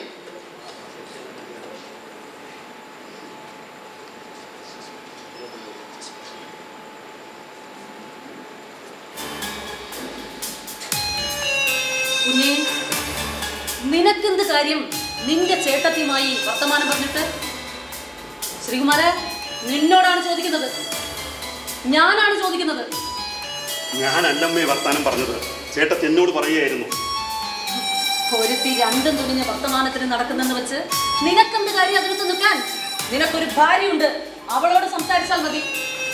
ആ ഭാര്യയോട് എനിക്ക് സംസാരിക്കാൻ കഴിയില്ലെന്ന് അമ്മയ്ക്കറിയാവുന്നതല്ലേ അതുകൊണ്ട് അതുകൊണ്ട് ഭാര്യയ്ക്ക് പകരം ചേട്ടത്തിയോ? ആ ആട്ടക്കാരി അതിനും തയ്യാറാണെന്ന് വെച്ച് ഇല്ലമ്മേ ആ രീതിയിലൊന്നും ചേട്ടത്തി എന്നോട് സംസാരിച്ചിട്ടില്ല. അവൾക്ക് ഒരു രീതിയിലേ സംസാരിക്കാൻ അറിയൂ ആ സംസാരം ഇവിടെ ചെലവാവില്ല ഇതുവരെ കൊള്ളരുതാത്ത ഒരു വർത്തമാനവും ചേട്ടത്തി എന്നോട് പറഞ്ഞിട്ടില്ല. അവൾ എന്തു തന്നെ പറഞ്ഞാലും നീയോ ശേഖരനോ അത് കേട്ടിട്ട് കാര്യമില്ല. നാളിതുവരെ നിങ്ങൾ ആരും പറഞ്ഞത് കേട്ടോ. അത് തന്നെ മതി ഇന്നും നാളെയും. അക്കാര്യവും ഇതുമായിട്ട് യാതൊരു ബന്ധവുമില്ലല്ലോ അമ്മേ. ഓ തർക്കിക്കാനാണ് ഭാവം അല്ലേ? ചേട്ടത്തിയുടെ ഉപദേശമായിരിക്കും അല്ലേ? എങ്കിൽ നിനക്ക് ഇന്ന് മുതൽ അമ്മയില്ല ചേട്ടത്തിയേ ഉള്ളൂ. മനസ്സിലായോ? അമ്മേ അമ്മ എന്തൊക്കെയാണ് ഈ പറയുന്നത്? അമ്മ എന്തോ തെറ്റിദ്ധരിച്ചു. എന്റെ ഭാഗ്യദോഷം. എന്റെ തെറ്റിദ്ധാരണ അല്ലേ? ആ ധാരണ തിരുത്താൻ ഞാൻ ഉദ്ദേശിച്ചിട്ടില്ല. അഥവാ നിനക്ക് ആ ധാരണ തിരുത്തണമെങ്കിൽ ഞാനിതാ അകന്ന് ഏഴാം പടിക്കപ്പുറം കടന്നു കഴിഞ്ഞു. അമ്മേ ഞാനൊരു കുറ്റവും ചെയ്തിട്ടില്ല. അമ്മയെ ആരാധിക്കുന്ന ഞങ്ങളോട് അമ്മ ഇങ്ങനെ പെരുമാറുന്നത് കഷ്ടമാണ്. പിന്നെ ചേട്ടത്തി? വേണ്ട. അവളെ കുറിച്ച് ഒരു അക്ഷരം മിണ്ടരുത്. നിനക്ക് അവളെ കുറിച്ച് പറയേണ്ട ആവശ്യവുമില്ല. ഇല്ലമ്മേ ഇനി ഞാൻ ചേട്ടത്തെക്കുറിച്ച് ഒന്നും മിണ്ടില്ല. മിണ്ടിയാൽ അന്ന് അവസാനിക്കും നാം തമ്മിലുള്ള ബന്ധം. ഇല്ലമ്മേ അതിവിടെ വരില്ല ഞാൻ ഈ പറയുന്നതൊന്നും കുഞ്ഞേ എനിക്ക് വേണ്ടിയല്ല നിങ്ങളുടെ നന്മയെ കരുതി മാത്രം എന്റെ കുഞ്ഞുങ്ങളുടെ കാര്യം നോക്കാൻ എനിക്കറിയില്ലേ മറ്റാർക്കാണ് അതിന് അവകാശം? ആ അതൊക്കെ പോട്ടെ. നീ ഉടൻ തന്നെ ആശുപത്രിയിലേക്ക് പോകണം. കുറച്ചു നേരം കഴിയുമ്പോൾ ഞാനും അങ്ങെത്താം ഞാനിതാ ഇറങ്ങിക്കഴിഞ്ഞു അമ്മേ. ഇന്ന് കൂടി എങ്ങനെയെങ്കിലും ഒന്ന് കഴിഞ്ഞെങ്കിൽ ഡോക്ടർ പറഞ്ഞതുപോലെ നാളെ മുതൽ ദീനത്തിന് ഇറക്കം വച്ചാൽ എല്ലാം വിധി പോലെയല്ലേ വരൂ കുഞ്ഞെ. നാം വിചാരിച്ചാൽ എന്ത് ചെയ്യാനൊക്കും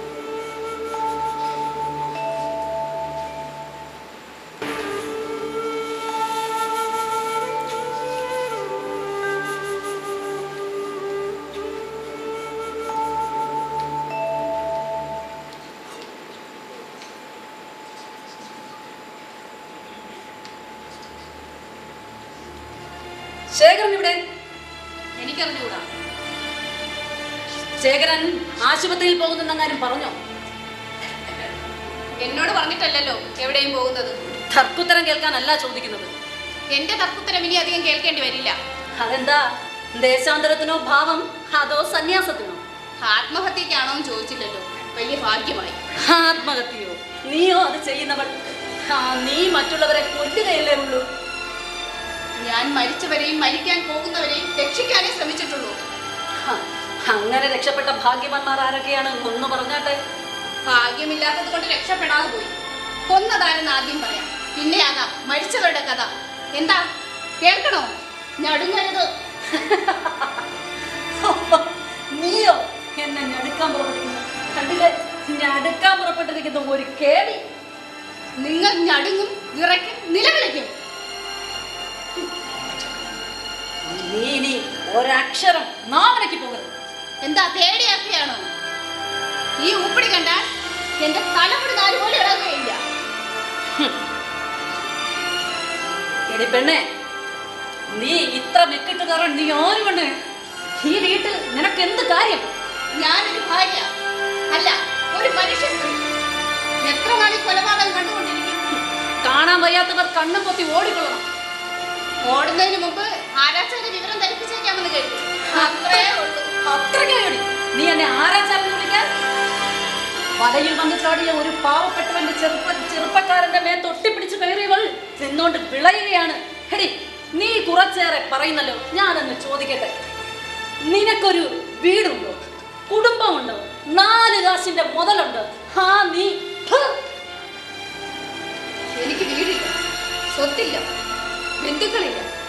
ഒരുപക്ഷെ അതുകൊണ്ട് തന്നെയാവാം. ഇല്ലാത്തതിനെല്ലാം പകരം എനിക്ക് കാണാൻ കണ്ണു കിട്ടിയിട്ടുണ്ട്. തെറ്റുണ്ടായാൽ തിരുത്താൻ വിവേകമുണ്ട്. ലോകം കുറെ കണ്ടിട്ടുണ്ട്. രണ്ട് കുഞ്ഞുങ്ങളെ പാവകളെ പോലെ വളർ മന്ദബുദ്ധികളാക്കി നിന്നു പ്രാണിയെ? നിങ്ങളുടെ കാലത്തിൽ വീഴേണ്ടി വന്ന ശാരദയുടെ തലയിലെടുത്തല്ല എന്റേത്? ആ സാധുക്കുട്ടി തറവാട്ടുകാരിയാണ്. നിന്നെ പോലെ കഴിഞ്ഞാട്ടക്കാരിയല്ല ആരെ ബഹുമാനിക്കണമെന്നും സ്നേഹിക്കണമെന്നും ഒക്കെ എന്റെ മരുമകൾക്ക് നന്നായി അറിയാം അതിന്റെ ഫലം ഇന്നോ നാളെയോ തന്നെ നിങ്ങൾ അറിയും ആ കാഴ്ച കണ്ടാലും തുറക്കുന്ന കണ്ണുകളല്ല നിങ്ങളുടെ. എന്നാലും ആ പാവത്തിൽ ഈ നരകത്തിൽ നിന്നൊരു മോചനം കിട്ടുമല്ലോ നിങ്ങളുടെ മക്കൾക്കോ? ആ വണ്ടിക്കാളകൾക്ക് ഈ മുഖത്തിനിടയിൽ നിന്ന് എന്തെങ്കിലും ഉണ്ടോ രക്ഷ? നിന്റെ ഈ മിരട്ടും തട്ടിപ്പും ഒക്കെ ചെലവാക്കാൻ കേട്ട സ്ഥലം പിശകിപ്പോയെന്ന് നിനക്കിപ്പോ മനസ്സിലായോ? അമ്മയുടെ അമ്മയുടെ ഹിതം അതേപോലെ അനുസരിക്കുന്ന മക്കളും മക്കളെ ശരണം എന്ന് കരുതിയുള്ള ഒരു അമ്മയും താമസിക്കുന്ന വീട്ടിൽ ചിത്രമുണ്ടാക്കാൻ പറ്റാത്തതിൽ നിനക്ക് കുറച്ച് കുണ്ടിതം തോന്നിയാൽ ആർക്കെന്ത് ഖേദം ആർക്കെന്ത് ഛേദം? എടി അങ്ങനെ ഒരു വീട്ടിൽ വന്ന് താമസിക്കണമെന്നുണ്ടെങ്കിലേ അതിനും വേണമെടി ഒരു ഭാഗ്യം. അതെ അതൊരു ഭാഗ്യമെന്ന് ഞാനും കുറച്ചു നാൾ തെറ്റിദ്ധരിച്ചു. എനിക്കിനി ഒന്നും പറയാനില്ല. എനിക്കിനി ഒരു അപേക്ഷയേ ഉള്ളൂ. ഞാനിവിടെ വന്നിട്ട് യാതൊന്നും നിങ്ങളോട് അപേക്ഷിച്ചിട്ടില്ലല്ലോ. എനിക്ക് വേണ്ടി. നിങ്ങൾക്ക് വേണ്ടി. വേണ്ട. ഈശ്വരനെ കരുതി ഒന്ന് കേൾക്കണം. ആക്ഷേപം മുഴുവൻ കോരി ചൊരിഞ്ഞിട്ട് ഇനി ഒരു അപേക്ഷ. നിമിഷം പ്രതി. മറ്റൊരു വേഷം കെട്ടൽ. ശാരദയുടെ ശവശരീരം അടുത്ത് തന്നെ പട്ടടയിൽ എടുത്തു അപ്പോൾ നിങ്ങളുടെ മകൻ ഒരു തുള്ളി കണ്ണുനീർ പൊഴിച്ചു പോകുന്നെങ്കിൽ അതിന് മാത്രമെങ്കിലും നിങ്ങൾ അയാളോട് ശണ്ട പിടിക്കരുത്. ധിക്കാരം പോകുന്ന പോക്ക് അവൾ അപേക്ഷിക്കാൻ കൊണ്ടൊരു കാര്യം.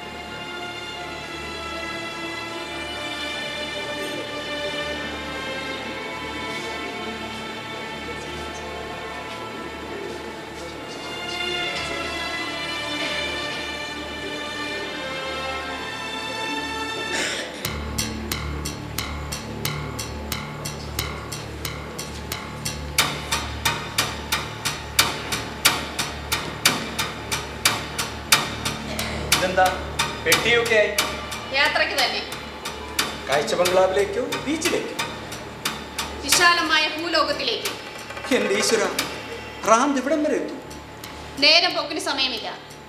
ഇനി ഒരു ദിവസം എനിക്കിവിടെ തങ്ങാൻ വയ്യ. നീ പറയുന്നത്?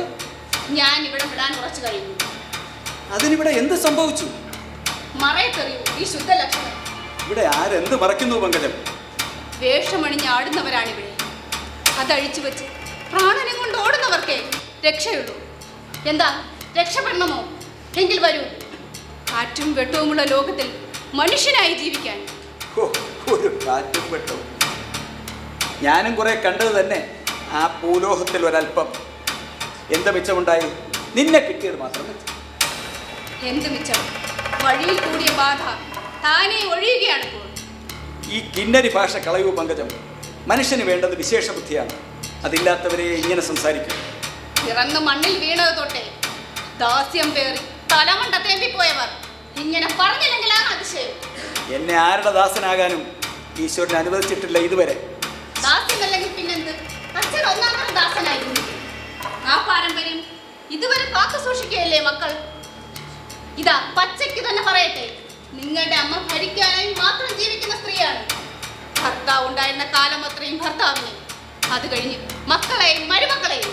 നിർത്തു നിന്റെ ദുസൂചനകൾ. ഗുരുത്വത്തിനും ഒരതിർത്തിയുണ്ട്. കൈവിലങ്ങനെ പൂമാല എന്ന പോലെ തല കുനിച്ചു മുത്തുന്നവരുടെ ഗുരുത്വം. ആ നാറിയ സാധനം എനിക്ക് വേണ്ട. അപ്പൊ മിസ്റ്റർ ശേഖരൻ നായർ ആ പേര് ചൊല്ലിയാണല്ലോ ഞാൻ നിങ്ങളെ ആദ്യം വിളിച്ചത്. ഞാൻ അവസാനമായി ചോദിക്കട്ടെ നിങ്ങൾ വരുന്നോ ഇല്ലയോ? എന്റെ ഭർത്താവായല്ല. ഇന്ന് വരെ സ്വാതറിഞ്ഞിട്ടില്ലാത്ത സ്വാതന്ത്ര്യത്തിന്റെ സൗന്ദര്യം നുണയുന്ന മനുഷ്യനായി ജീവിക്കാൻ ഈ ജന്മത്തിന്റെ അർത്ഥം എന്താണെന്നറിയാൻ? എന്താ? എന്താണ് മറുപടി? എന്റെ വീട് വിട്ടോടാൻ ഞാനൊരു ഭ്രാന്തനല്ല. ആര് പറഞ്ഞാലും എന്ത് സംഭവിച്ചാലും. ശരി. ആ വാക്കുകൾ നമ്മുടെ ബന്ധം വിടർത്തി കഴിഞ്ഞു ഇനി ഞാൻ നിങ്ങളുടെ ഭാര്യയായിട്ടല്ല സംസാരിക്കുന്നത്. ഇനി എനിക്കൊരു സംസാരവും കേൾക്കണ്ടെങ്കിൽ? കേൾക്കാതെ നിവർത്തിയില്ല. പങ്കജത്തിന്റെ ചില ശേഖരൻ നായരോട് പറയാനുണ്ട്. അവളെക്കുറിച്ച് നാളിതുവരെ അറിഞ്ഞിട്ടില്ലാത്ത ചില സത്യങ്ങൾ. അതിനു മുമ്പ് ഒരപേക്ഷയുണ്ട് ഞാൻ പറയുന്ന ഓരോ വാക്കും നിങ്ങൾ ദയവ് ചെയ്ത് വിശ്വസിക്കണം. ഇതിനകം എന്തെല്ലാം കേട്ടു എന്തെല്ലാം പറഞ്ഞു എന്തെല്ലാം അനുഭവിച്ചു? കഴിഞ്ഞ നാല് വർഷമായി ഞാൻ നിങ്ങളെ എന്തൊക്കെയോ പറഞ്ഞ് വിശ്വസിപ്പിച്ചിരുന്നില്ലേ? അതെല്ലാം ഒന്നൊഴിയാതെ നിങ്ങൾ അവിശ്വസിക്കണം. പറയാതെ തന്നെ അതെല്ലാം എനിക്ക് അവിശ്വസിക്കേണ്ടി വന്നല്ലോ. അതുപോരാ എനിക്ക് സമാധാനം കിട്ടണമെങ്കിൽ ഞാൻ തന്നെ അത് പറയും. ഞാൻ നിങ്ങളെ ഒരിക്കലും സ്നേഹിച്ചിരുന്നില്ല. എന്തൊക്കെയാണ് ഇതിന്റെ അർത്ഥം ഭഗവാനെ? നീ ഇതൊന്ന് അവസാനിപ്പിക്കുമോ? ഞാനൊന്ന് സ്വസ്ഥനായിരുന്നോട്ടെ എനിക്ക് ആരെ പറ്റിയും ഒന്നിനെ പറ്റിയും അറിയണ്ട. എനിക്കൊന്നും ആലോചിക്കാൻ വയ്യ. അല്പം കൂടി ക്ഷമിക്കൂ. നിങ്ങളിത് കേട്ടില്ലെങ്കിൽ ഒരിക്കലും മാറാത്ത ഒരു തീക്കട്ട ഞാനെന്നും ഉള്ളിൽ ചുമന്ന് നടക്കേണ്ടി വരും. അല്ലെങ്കിൽ എനിക്കിനി എന്ത് തന്നെ കേട്ടുകൂടാ? കേൾക്കുമെന്ന് സ്വപ്നം കാണാത്ത കാര്യങ്ങൾ പോലും കേട്ട് കഴിഞ്ഞില്ലേ? പക്ഷേ പങ്കജം ഒന്നുണ്ട്. ഒരു സാധുവിനെ ഇത്രയും നാൾ ഉരഞ്ഞു കളിപ്പിച്ചതിന്റെ ശിക്ഷ നീ അനുഭവിക്കാതെ പോവില്ല. ആ ശിക്ഷയിൽ നിന്ന് അല്പമെങ്കിലും രക്ഷ കിട്ടാനാണ് ഞാൻ പറയുന്നത്. ഇതാ ഈ നിൽക്കുന്ന ഞാൻ ഒരു ഒന്നാം തരം അസത്യമാണ് നമ്മുടെ പ്രണയ ജീവിതം ഒരു ഒന്നാം തരം അസത്യമാണ് എന്ത്. ഒരു മനുഷ്യനാണെന്നെങ്കിലും കരുതി സംസാരിക്കും. ആർക്കും ഒരു അമളി പറ്റിയെന്ന് വരും. എന്ന് വെച്ച്? മറ്റെന്ത് തന്നെ മായമായാലും ഇത് സത്യമാണ്. കലർപ്പറ്റ സത്യം. ഞാൻ നിങ്ങളെ ഒരിക്കലും സ്നേഹിച്ചിരുന്നേയില്ല.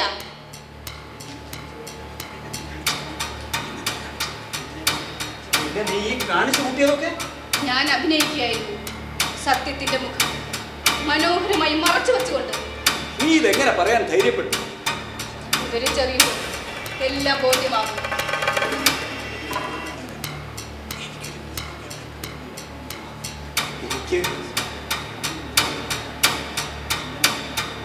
എല്ലാം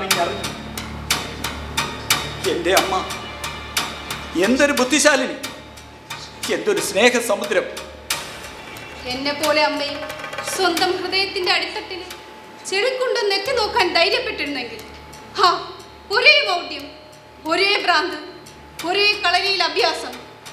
ഞങ്ങൾ രണ്ടുപേരെയും വഴി തെറ്റിച്ചു എന്നാലും ഈ ചതി ഈ കാവട്യം ഈ ദ്രോഹം എനിക്ക് അനുഭവിക്കേണ്ടി വന്നല്ലോ. എന്റെ അമ്മയ്ക്ക് പറ്റിയ അബദ്ധം. എന്റെ ജീവിതത്തിൽ ആവർത്തിച്ചുകൂടെന്ന് എനിക്ക് നിർബന്ധമുണ്ടായിരുന്നു. നിന്റെ അമ്മയ്ക്ക് ഇതിലെന്ത് ബന്ധം? അവർക്ക് എന്തവളി പിണഞ്ഞാലും ഞാൻ എന്ത് വേണം അതിന്? ഒരു കുടുംബത്തെ തകർത്ത് തറ പറ്റിച്ച അനുഭവം. എന്റെ ജീവിതത്തിൽ ആവർത്തിച്ചുകൂടെന്ന് എനിക്ക് നിർബന്ധമുണ്ടായിരുന്നു. ഞാൻ എന്തിന് കേൾക്കണം നിന്റെ ഈ കുടുംബ ഞാൻ അത് അന്നും തിരക്കിയില്ല. ഇന്ന് എനിക്കൊട്ട് അറിയുകയും വേണ്ട. ഇത് കേൾക്കൂ. എന്നെയും അമ്മയും കൈപ്പുനീർ നിർപ്പിടിപ്പിച്ച കഥയാണത്. ആരെയും അനുസരിപ്പിക്കാനല്ലാതെ അനുസരിക്കാൻ ഇഷ്ടമില്ലാത്ത പ്രകൃതക്കാരനായ അച്ഛൻ.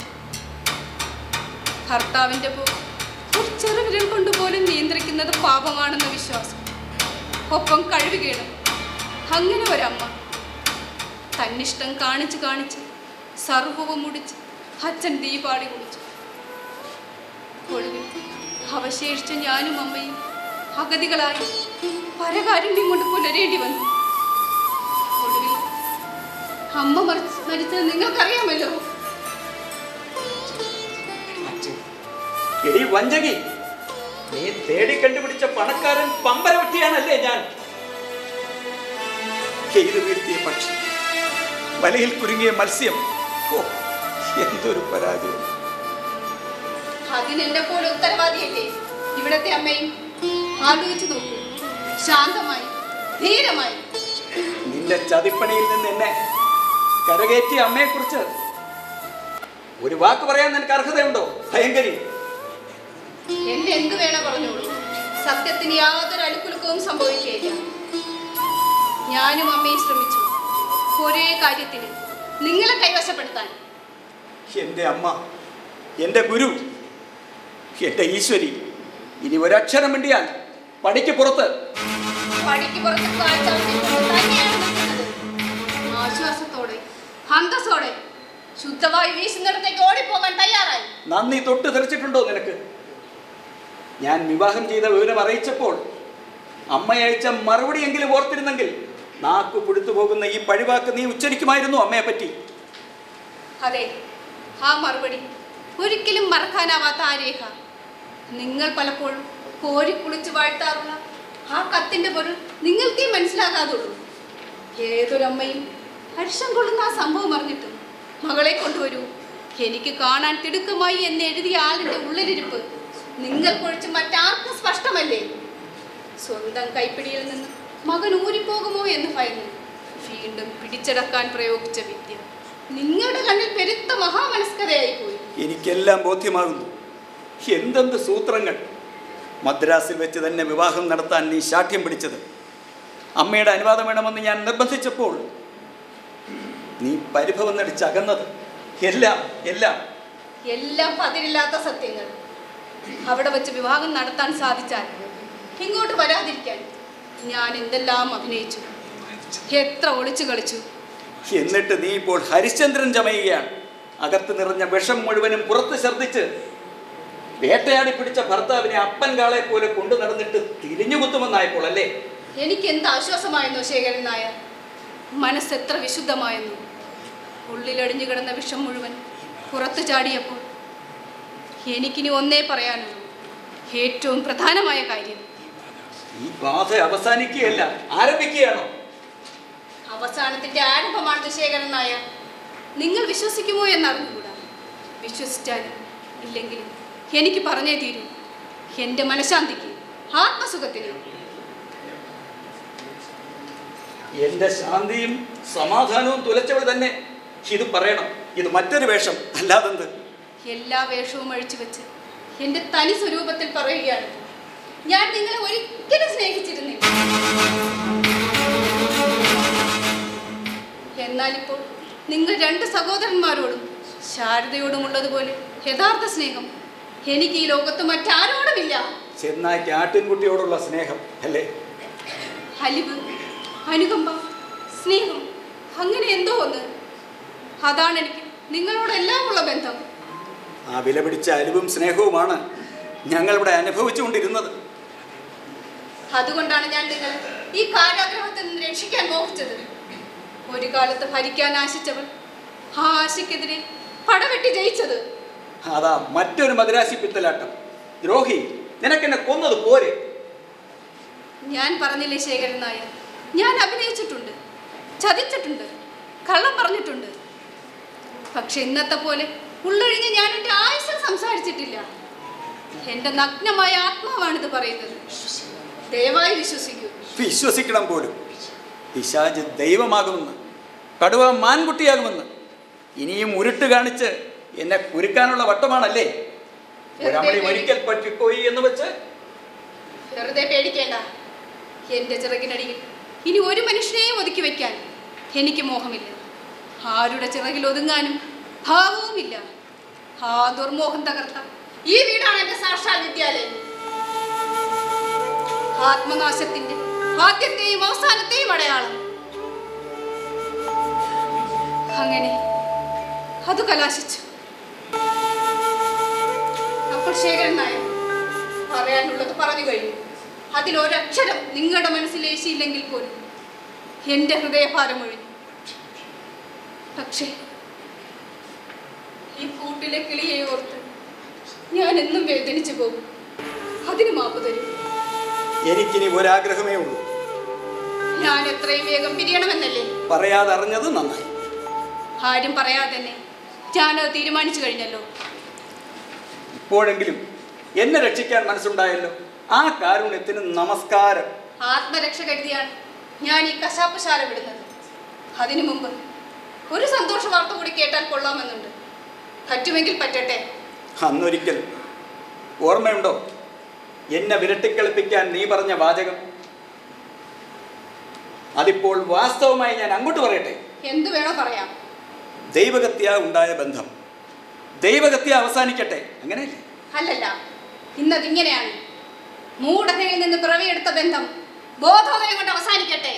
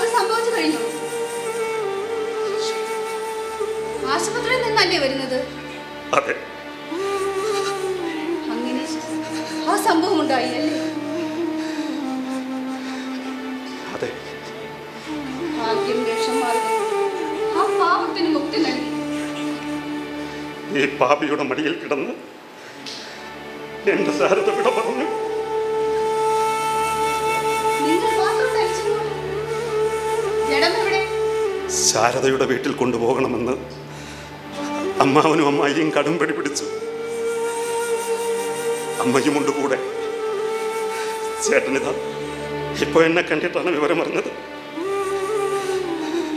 അങ്ങനെ നിങ്ങളുടെ അമ്മയ്ക്ക് ഒരു ഭാരം ഒഴിഞ്ഞു മറ്റൊന്നൊഴിയാൻ പോകുന്നു.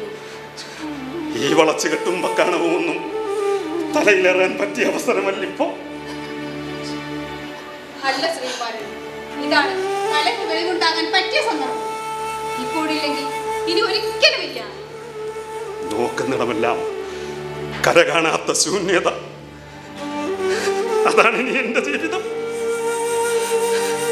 അതിനിടയ്ക്ക് എന്ത് മനസ്സിലാവാൻ? മനസ്സിലായിട്ട് എന്തു നേടാൻ? ആ ശൂന്യത ഈ കൊലക്കളവും? കൊലക്കളമോ? ഏത് കൊലക്കളം? നിലകെട്ട് നിൽക്കുന്നവനെ വീണ്ടും വഴിതെറ്റിക്കുകയാണോ? ഇനിയും സംശയമോ? കണ്ടാൽ കണ്ടു കഴിഞ്ഞിട്ടും കഷ്ടം. കൊണ്ടാലും അറിയാത്തവനെ എന്തു ചെയ്യാം?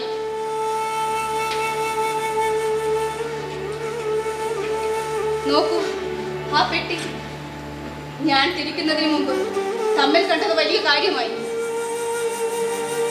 എന്താ? ചേട്ടൻ ഇവിടെ വിട്ടു പോവുകയാണോ? ശാരദയെ ഹോമിച്ചെടുത്ത് ഞാൻ ഇതിന് കഴിയുന്നു. ശാരദ പോയത്. എന്റെ ഭാഗ്യദോഷം കൊണ്ടല്ലേ? ഈശ്വരഹിതം അങ്ങനെയായാൽ. ഈശ്വരഹിതമോ? നാണമില്ലേ നിങ്ങൾക്കിത് പറയാൻ? സത്യം ചങ്ക് പൊട്ടി നിലവിളിക്കും. ഈ പച്ച പൊളി കേട്ടാൽ. എന്ത്? ഞാൻ പൊടി പറയുന്നെന്നോ? ശവത്തിൽ രസിക്കുകയാണ് കേട്ടത്. ശവത്തിന് ജീവനിടാൻ പറ്റുമോ എന്നാണ് ഞാൻ നോക്കുന്നത്. തൂണും ചാരിയിരുന്ന് കരയാൻ നോക്കാതെ ഓർമ്മിക്കാൻ ശക്തി ഉണ്ടെങ്കിൽ ഓർമ്മിച്ചു നോക്കൂ. ഹൃദയം തകർന്നു. വിറകുപുള്ളി പോലെ ശോഷിച്ചു പോയ ആ പെൺകുട്ടി. മനോവ്യാപാരങ്ങൾ ശ്വാസം മുട്ടി മരിച്ചു കഴിഞ്ഞപ്പോഴേക്കും അവശമായ ആ ശരീരം രോഗശയ്യെ ശരണം പ്രാപിച്ചു. പേടിയോ തന്റെ ഇടപ്പുറവോ ദുഷിച്ച തറവാടുത്ത ബോധമോ കൊണ്ട്? ഒന്നും വിളിക്കുമിണ്ടാതെ അവൾ ആ തീ മുഴുവൻ തിന്നതെന്നൊടുക്കിയത് ഒടുവിൽ പിടയ്ക്കുന്ന ആത്മാവിനെ രക്ഷിക്കാനുള്ള പരക്കം പാച്ചിൽ കടുന്തടിയായി കിടന്നിരുന്ന ആ ശരീരം കുളക്കര വരെ ഇഴഞ്ഞിഴഞ്ഞെത്തിയത്.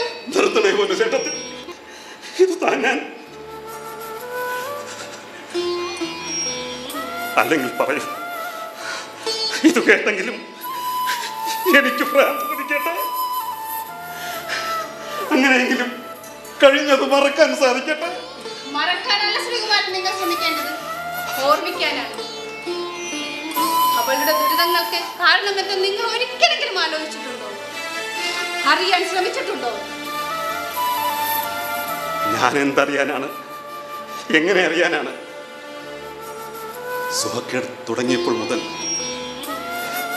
മുടങ്ങാതെ ചെയ്തില്ലേ ചികിത്സ?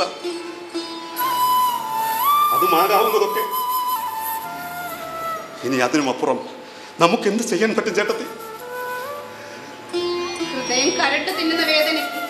എന്ത് ചികിത്സയാണുള്ളത് ശ്രീകുമാരൻ അത് കണ്ടറിഞ്ഞ് പരിഹരിക്കുകയല്ലാതെ പരദുഃഖത്തെ പറ്റി ലേശമെങ്കിലും ചിന്തയില്ലാത്തവരുണ്ടോ?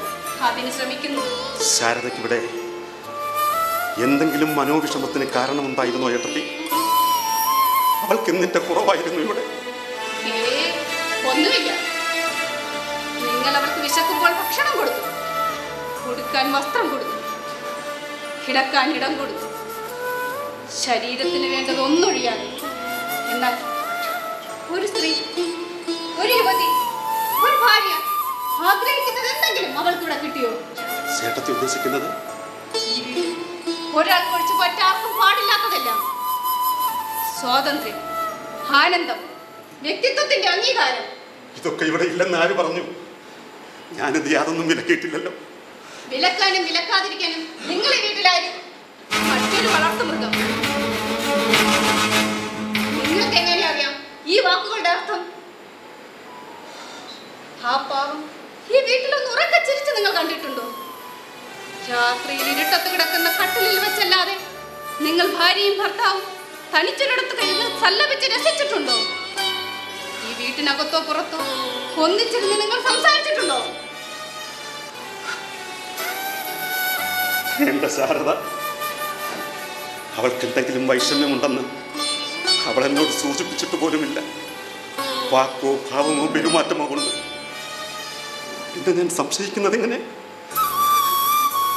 അതെ ഒന്നും വെളിപ്പെടുത്താതെ ആ അശരണയായ യുവതി ഈ ഇരുമ്പ് കോട്ടയ്ക്കുള്ളിൽ ഞെരിഞ്ഞു തകർന്നു.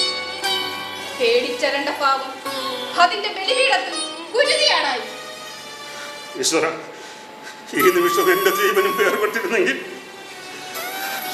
ശരിയാണ്. തന്റെ പ്രഭുത്വം മുഴുവൻ ഒരു കഴുതയെ പോലെ ചുമക്കുമെന്ന് ഉറപ്പുള്ള ഒരു മരുമകളെ. അമ്മ അന്വേഷിച്ചു. കണ്ടെത്തുകയും ചെയ്തു. പക്ഷേ ഒരു നോട്ടപ്പിശക് മാത്രം പറ്റിപ്പോയി അവർക്ക്. തനി തങ്കത്തിൽ തീർത്ത ഒരു ഹൃദയം. ശാരദയ്ക്കുണ്ടെന്ന് മാത്രം അവരറിഞ്ഞില്ല. എന്റെ പുകഞ്ഞു നിറുന്ന തലയ്ക്കകത്ത് എന്തെല്ലാം മോദിച്ചുയരുന്നു അവൾ ഉറങ്ങാതെ തിരിഞ്ഞും മറിഞ്ഞും കിടന്നു പോയ രാത്രികൾ. കൂടെ കൂടെ കുതിർത്ത നെടുവീർപ്പുകൾ. വല്ലപ്പോഴും ഒന്ന് മയങ്ങുമ്പോൾ ദുസ്വപ്നം കണ്ടും പേടിച്ച് നിലവിളിച്ച സഹരങ്ങൾ കണ്ണീര് വീണ് നനഞ്ഞ നനഞ്ഞ തലയിണ ഞാൻ യാചിച്ച് ചോദിച്ചിട്ടുണ്ട്? കാരണം അറിയാം. ഒരക്ഷരം പോലും അല്ല. ഒരു ശബ്ദം പോലും അവൾ ഉച്ചരിച്ച് കേട്ടില്ല. ഇതിനൊക്കെ നിങ്ങൾ ഉഗ്രം ചികിത്സയും നടത്തി. പക്ഷേ കഷ്ടം. നിങ്ങളുടെ അമ്മയെ ചെറുപ്പത്തിലെ പിടികൂടിയ രോഗമാണ്.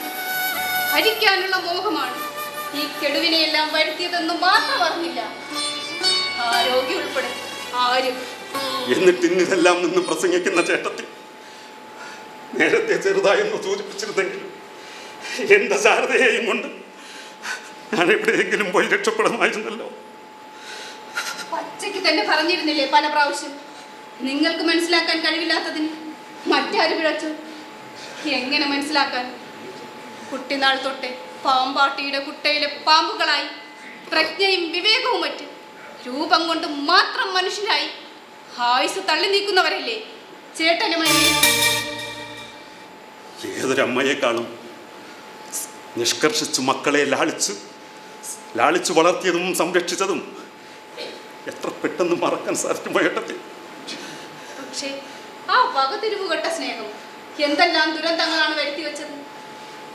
പറയൂ ശ്രീകുമാരൻ നിങ്ങളുടെ അമ്മ അറിഞ്ഞോ അറിയാതെയോ സ്നേഹിച്ചിരുന്നത് അവരെ തന്നെ ആയിരുന്നില്ലേ?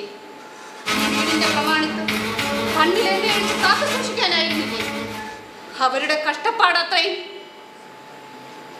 സ്വന്തം നെഞ്ചിൽ ചാഞ്ഞു കിടന്ന ഭാര്യയുടെ ഹൃദയ വ്യാപാരം പോലും മനസ്സിലാക്കാൻ കഴിവില്ലാത്തവനായി തീർന്ന നിങ്ങൾ നിങ്ങൾ തന്നെ പറയണം ഒരു സമാധാനം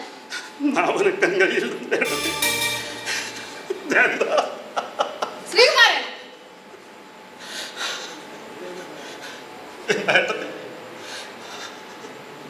ഞാൻ പോവുകയാണ്. വിശാലമായ ഭൂലോകത്തിലേക്ക്. നിങ്ങൾക്കിവിടെ എന്ത് ചെയ്യാൻ കഴിയും? ഞാനിവിടെ. ഈ മുറിയിൽ ശാരദയുടെ കട്ടിലിൽ ശാരദയുടെ കട്ടിൽ ജീവിക്കും. ഈ വീട്ടിലോ?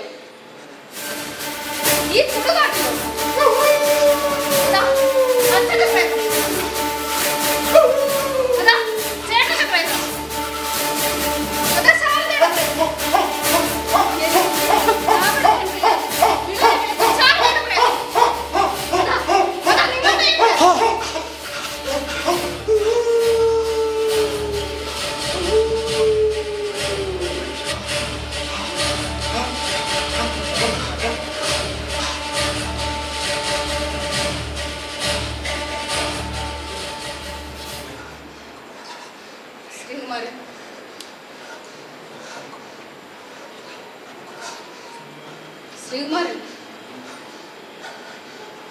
എന്താ ഏട്ടത്തി നമുക്ക് പോകാം.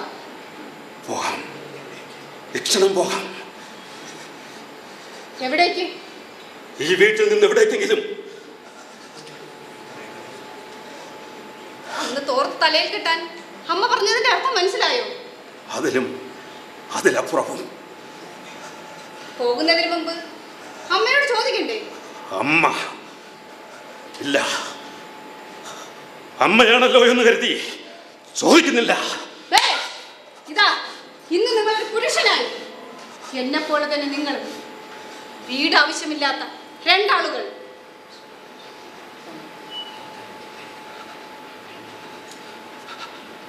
എന്ത്? അരുത്. ദുർബലനാകുന്നു. കണ്ണുകൾ സദാ മുന്നോട്ട് മാത്രം. ഒന്നിച്ചിറങ്ങുന്ന നാം തമ്മിൽ പിരിയും. എന്റെ വഴിക്ക് ഞാൻ നിങ്ങളുടെ വഴിക്ക് നിങ്ങൾ എന്താ? ഒറ്റയ്ക്ക് പോകാൻ ഭയമുണ്ടോ ഇല്ല. എവിടേക്കെന്ന് നിശ്ചയമില്ലെങ്കിലും. ഈ നാട് വിടുന്നു ഒരു കർത്തവ്യം കൂടി എനിക്ക് ബാക്കി രണ്ടേറ്റു കണ്ണിന് താഴെ വീഴാതെ ഞാൻ സൂക്ഷിച്ചിട്ടുണ്ട്. ശാരദയുടെ കുഴിമാടത്തിൽ വീഴ്ത്തു എന്നോടൊന്ന് വരാൻ പ്രയാസമില്ലല്ലോ. ആ രംഗം എനിക്ക് ധൈര്യമേ തരൂ.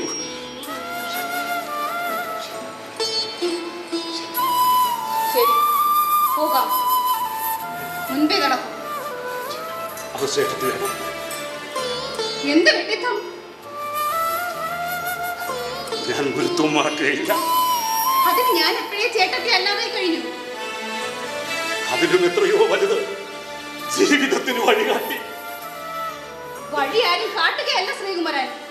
അവൻ കണ്ടെത്തുകയാണ്.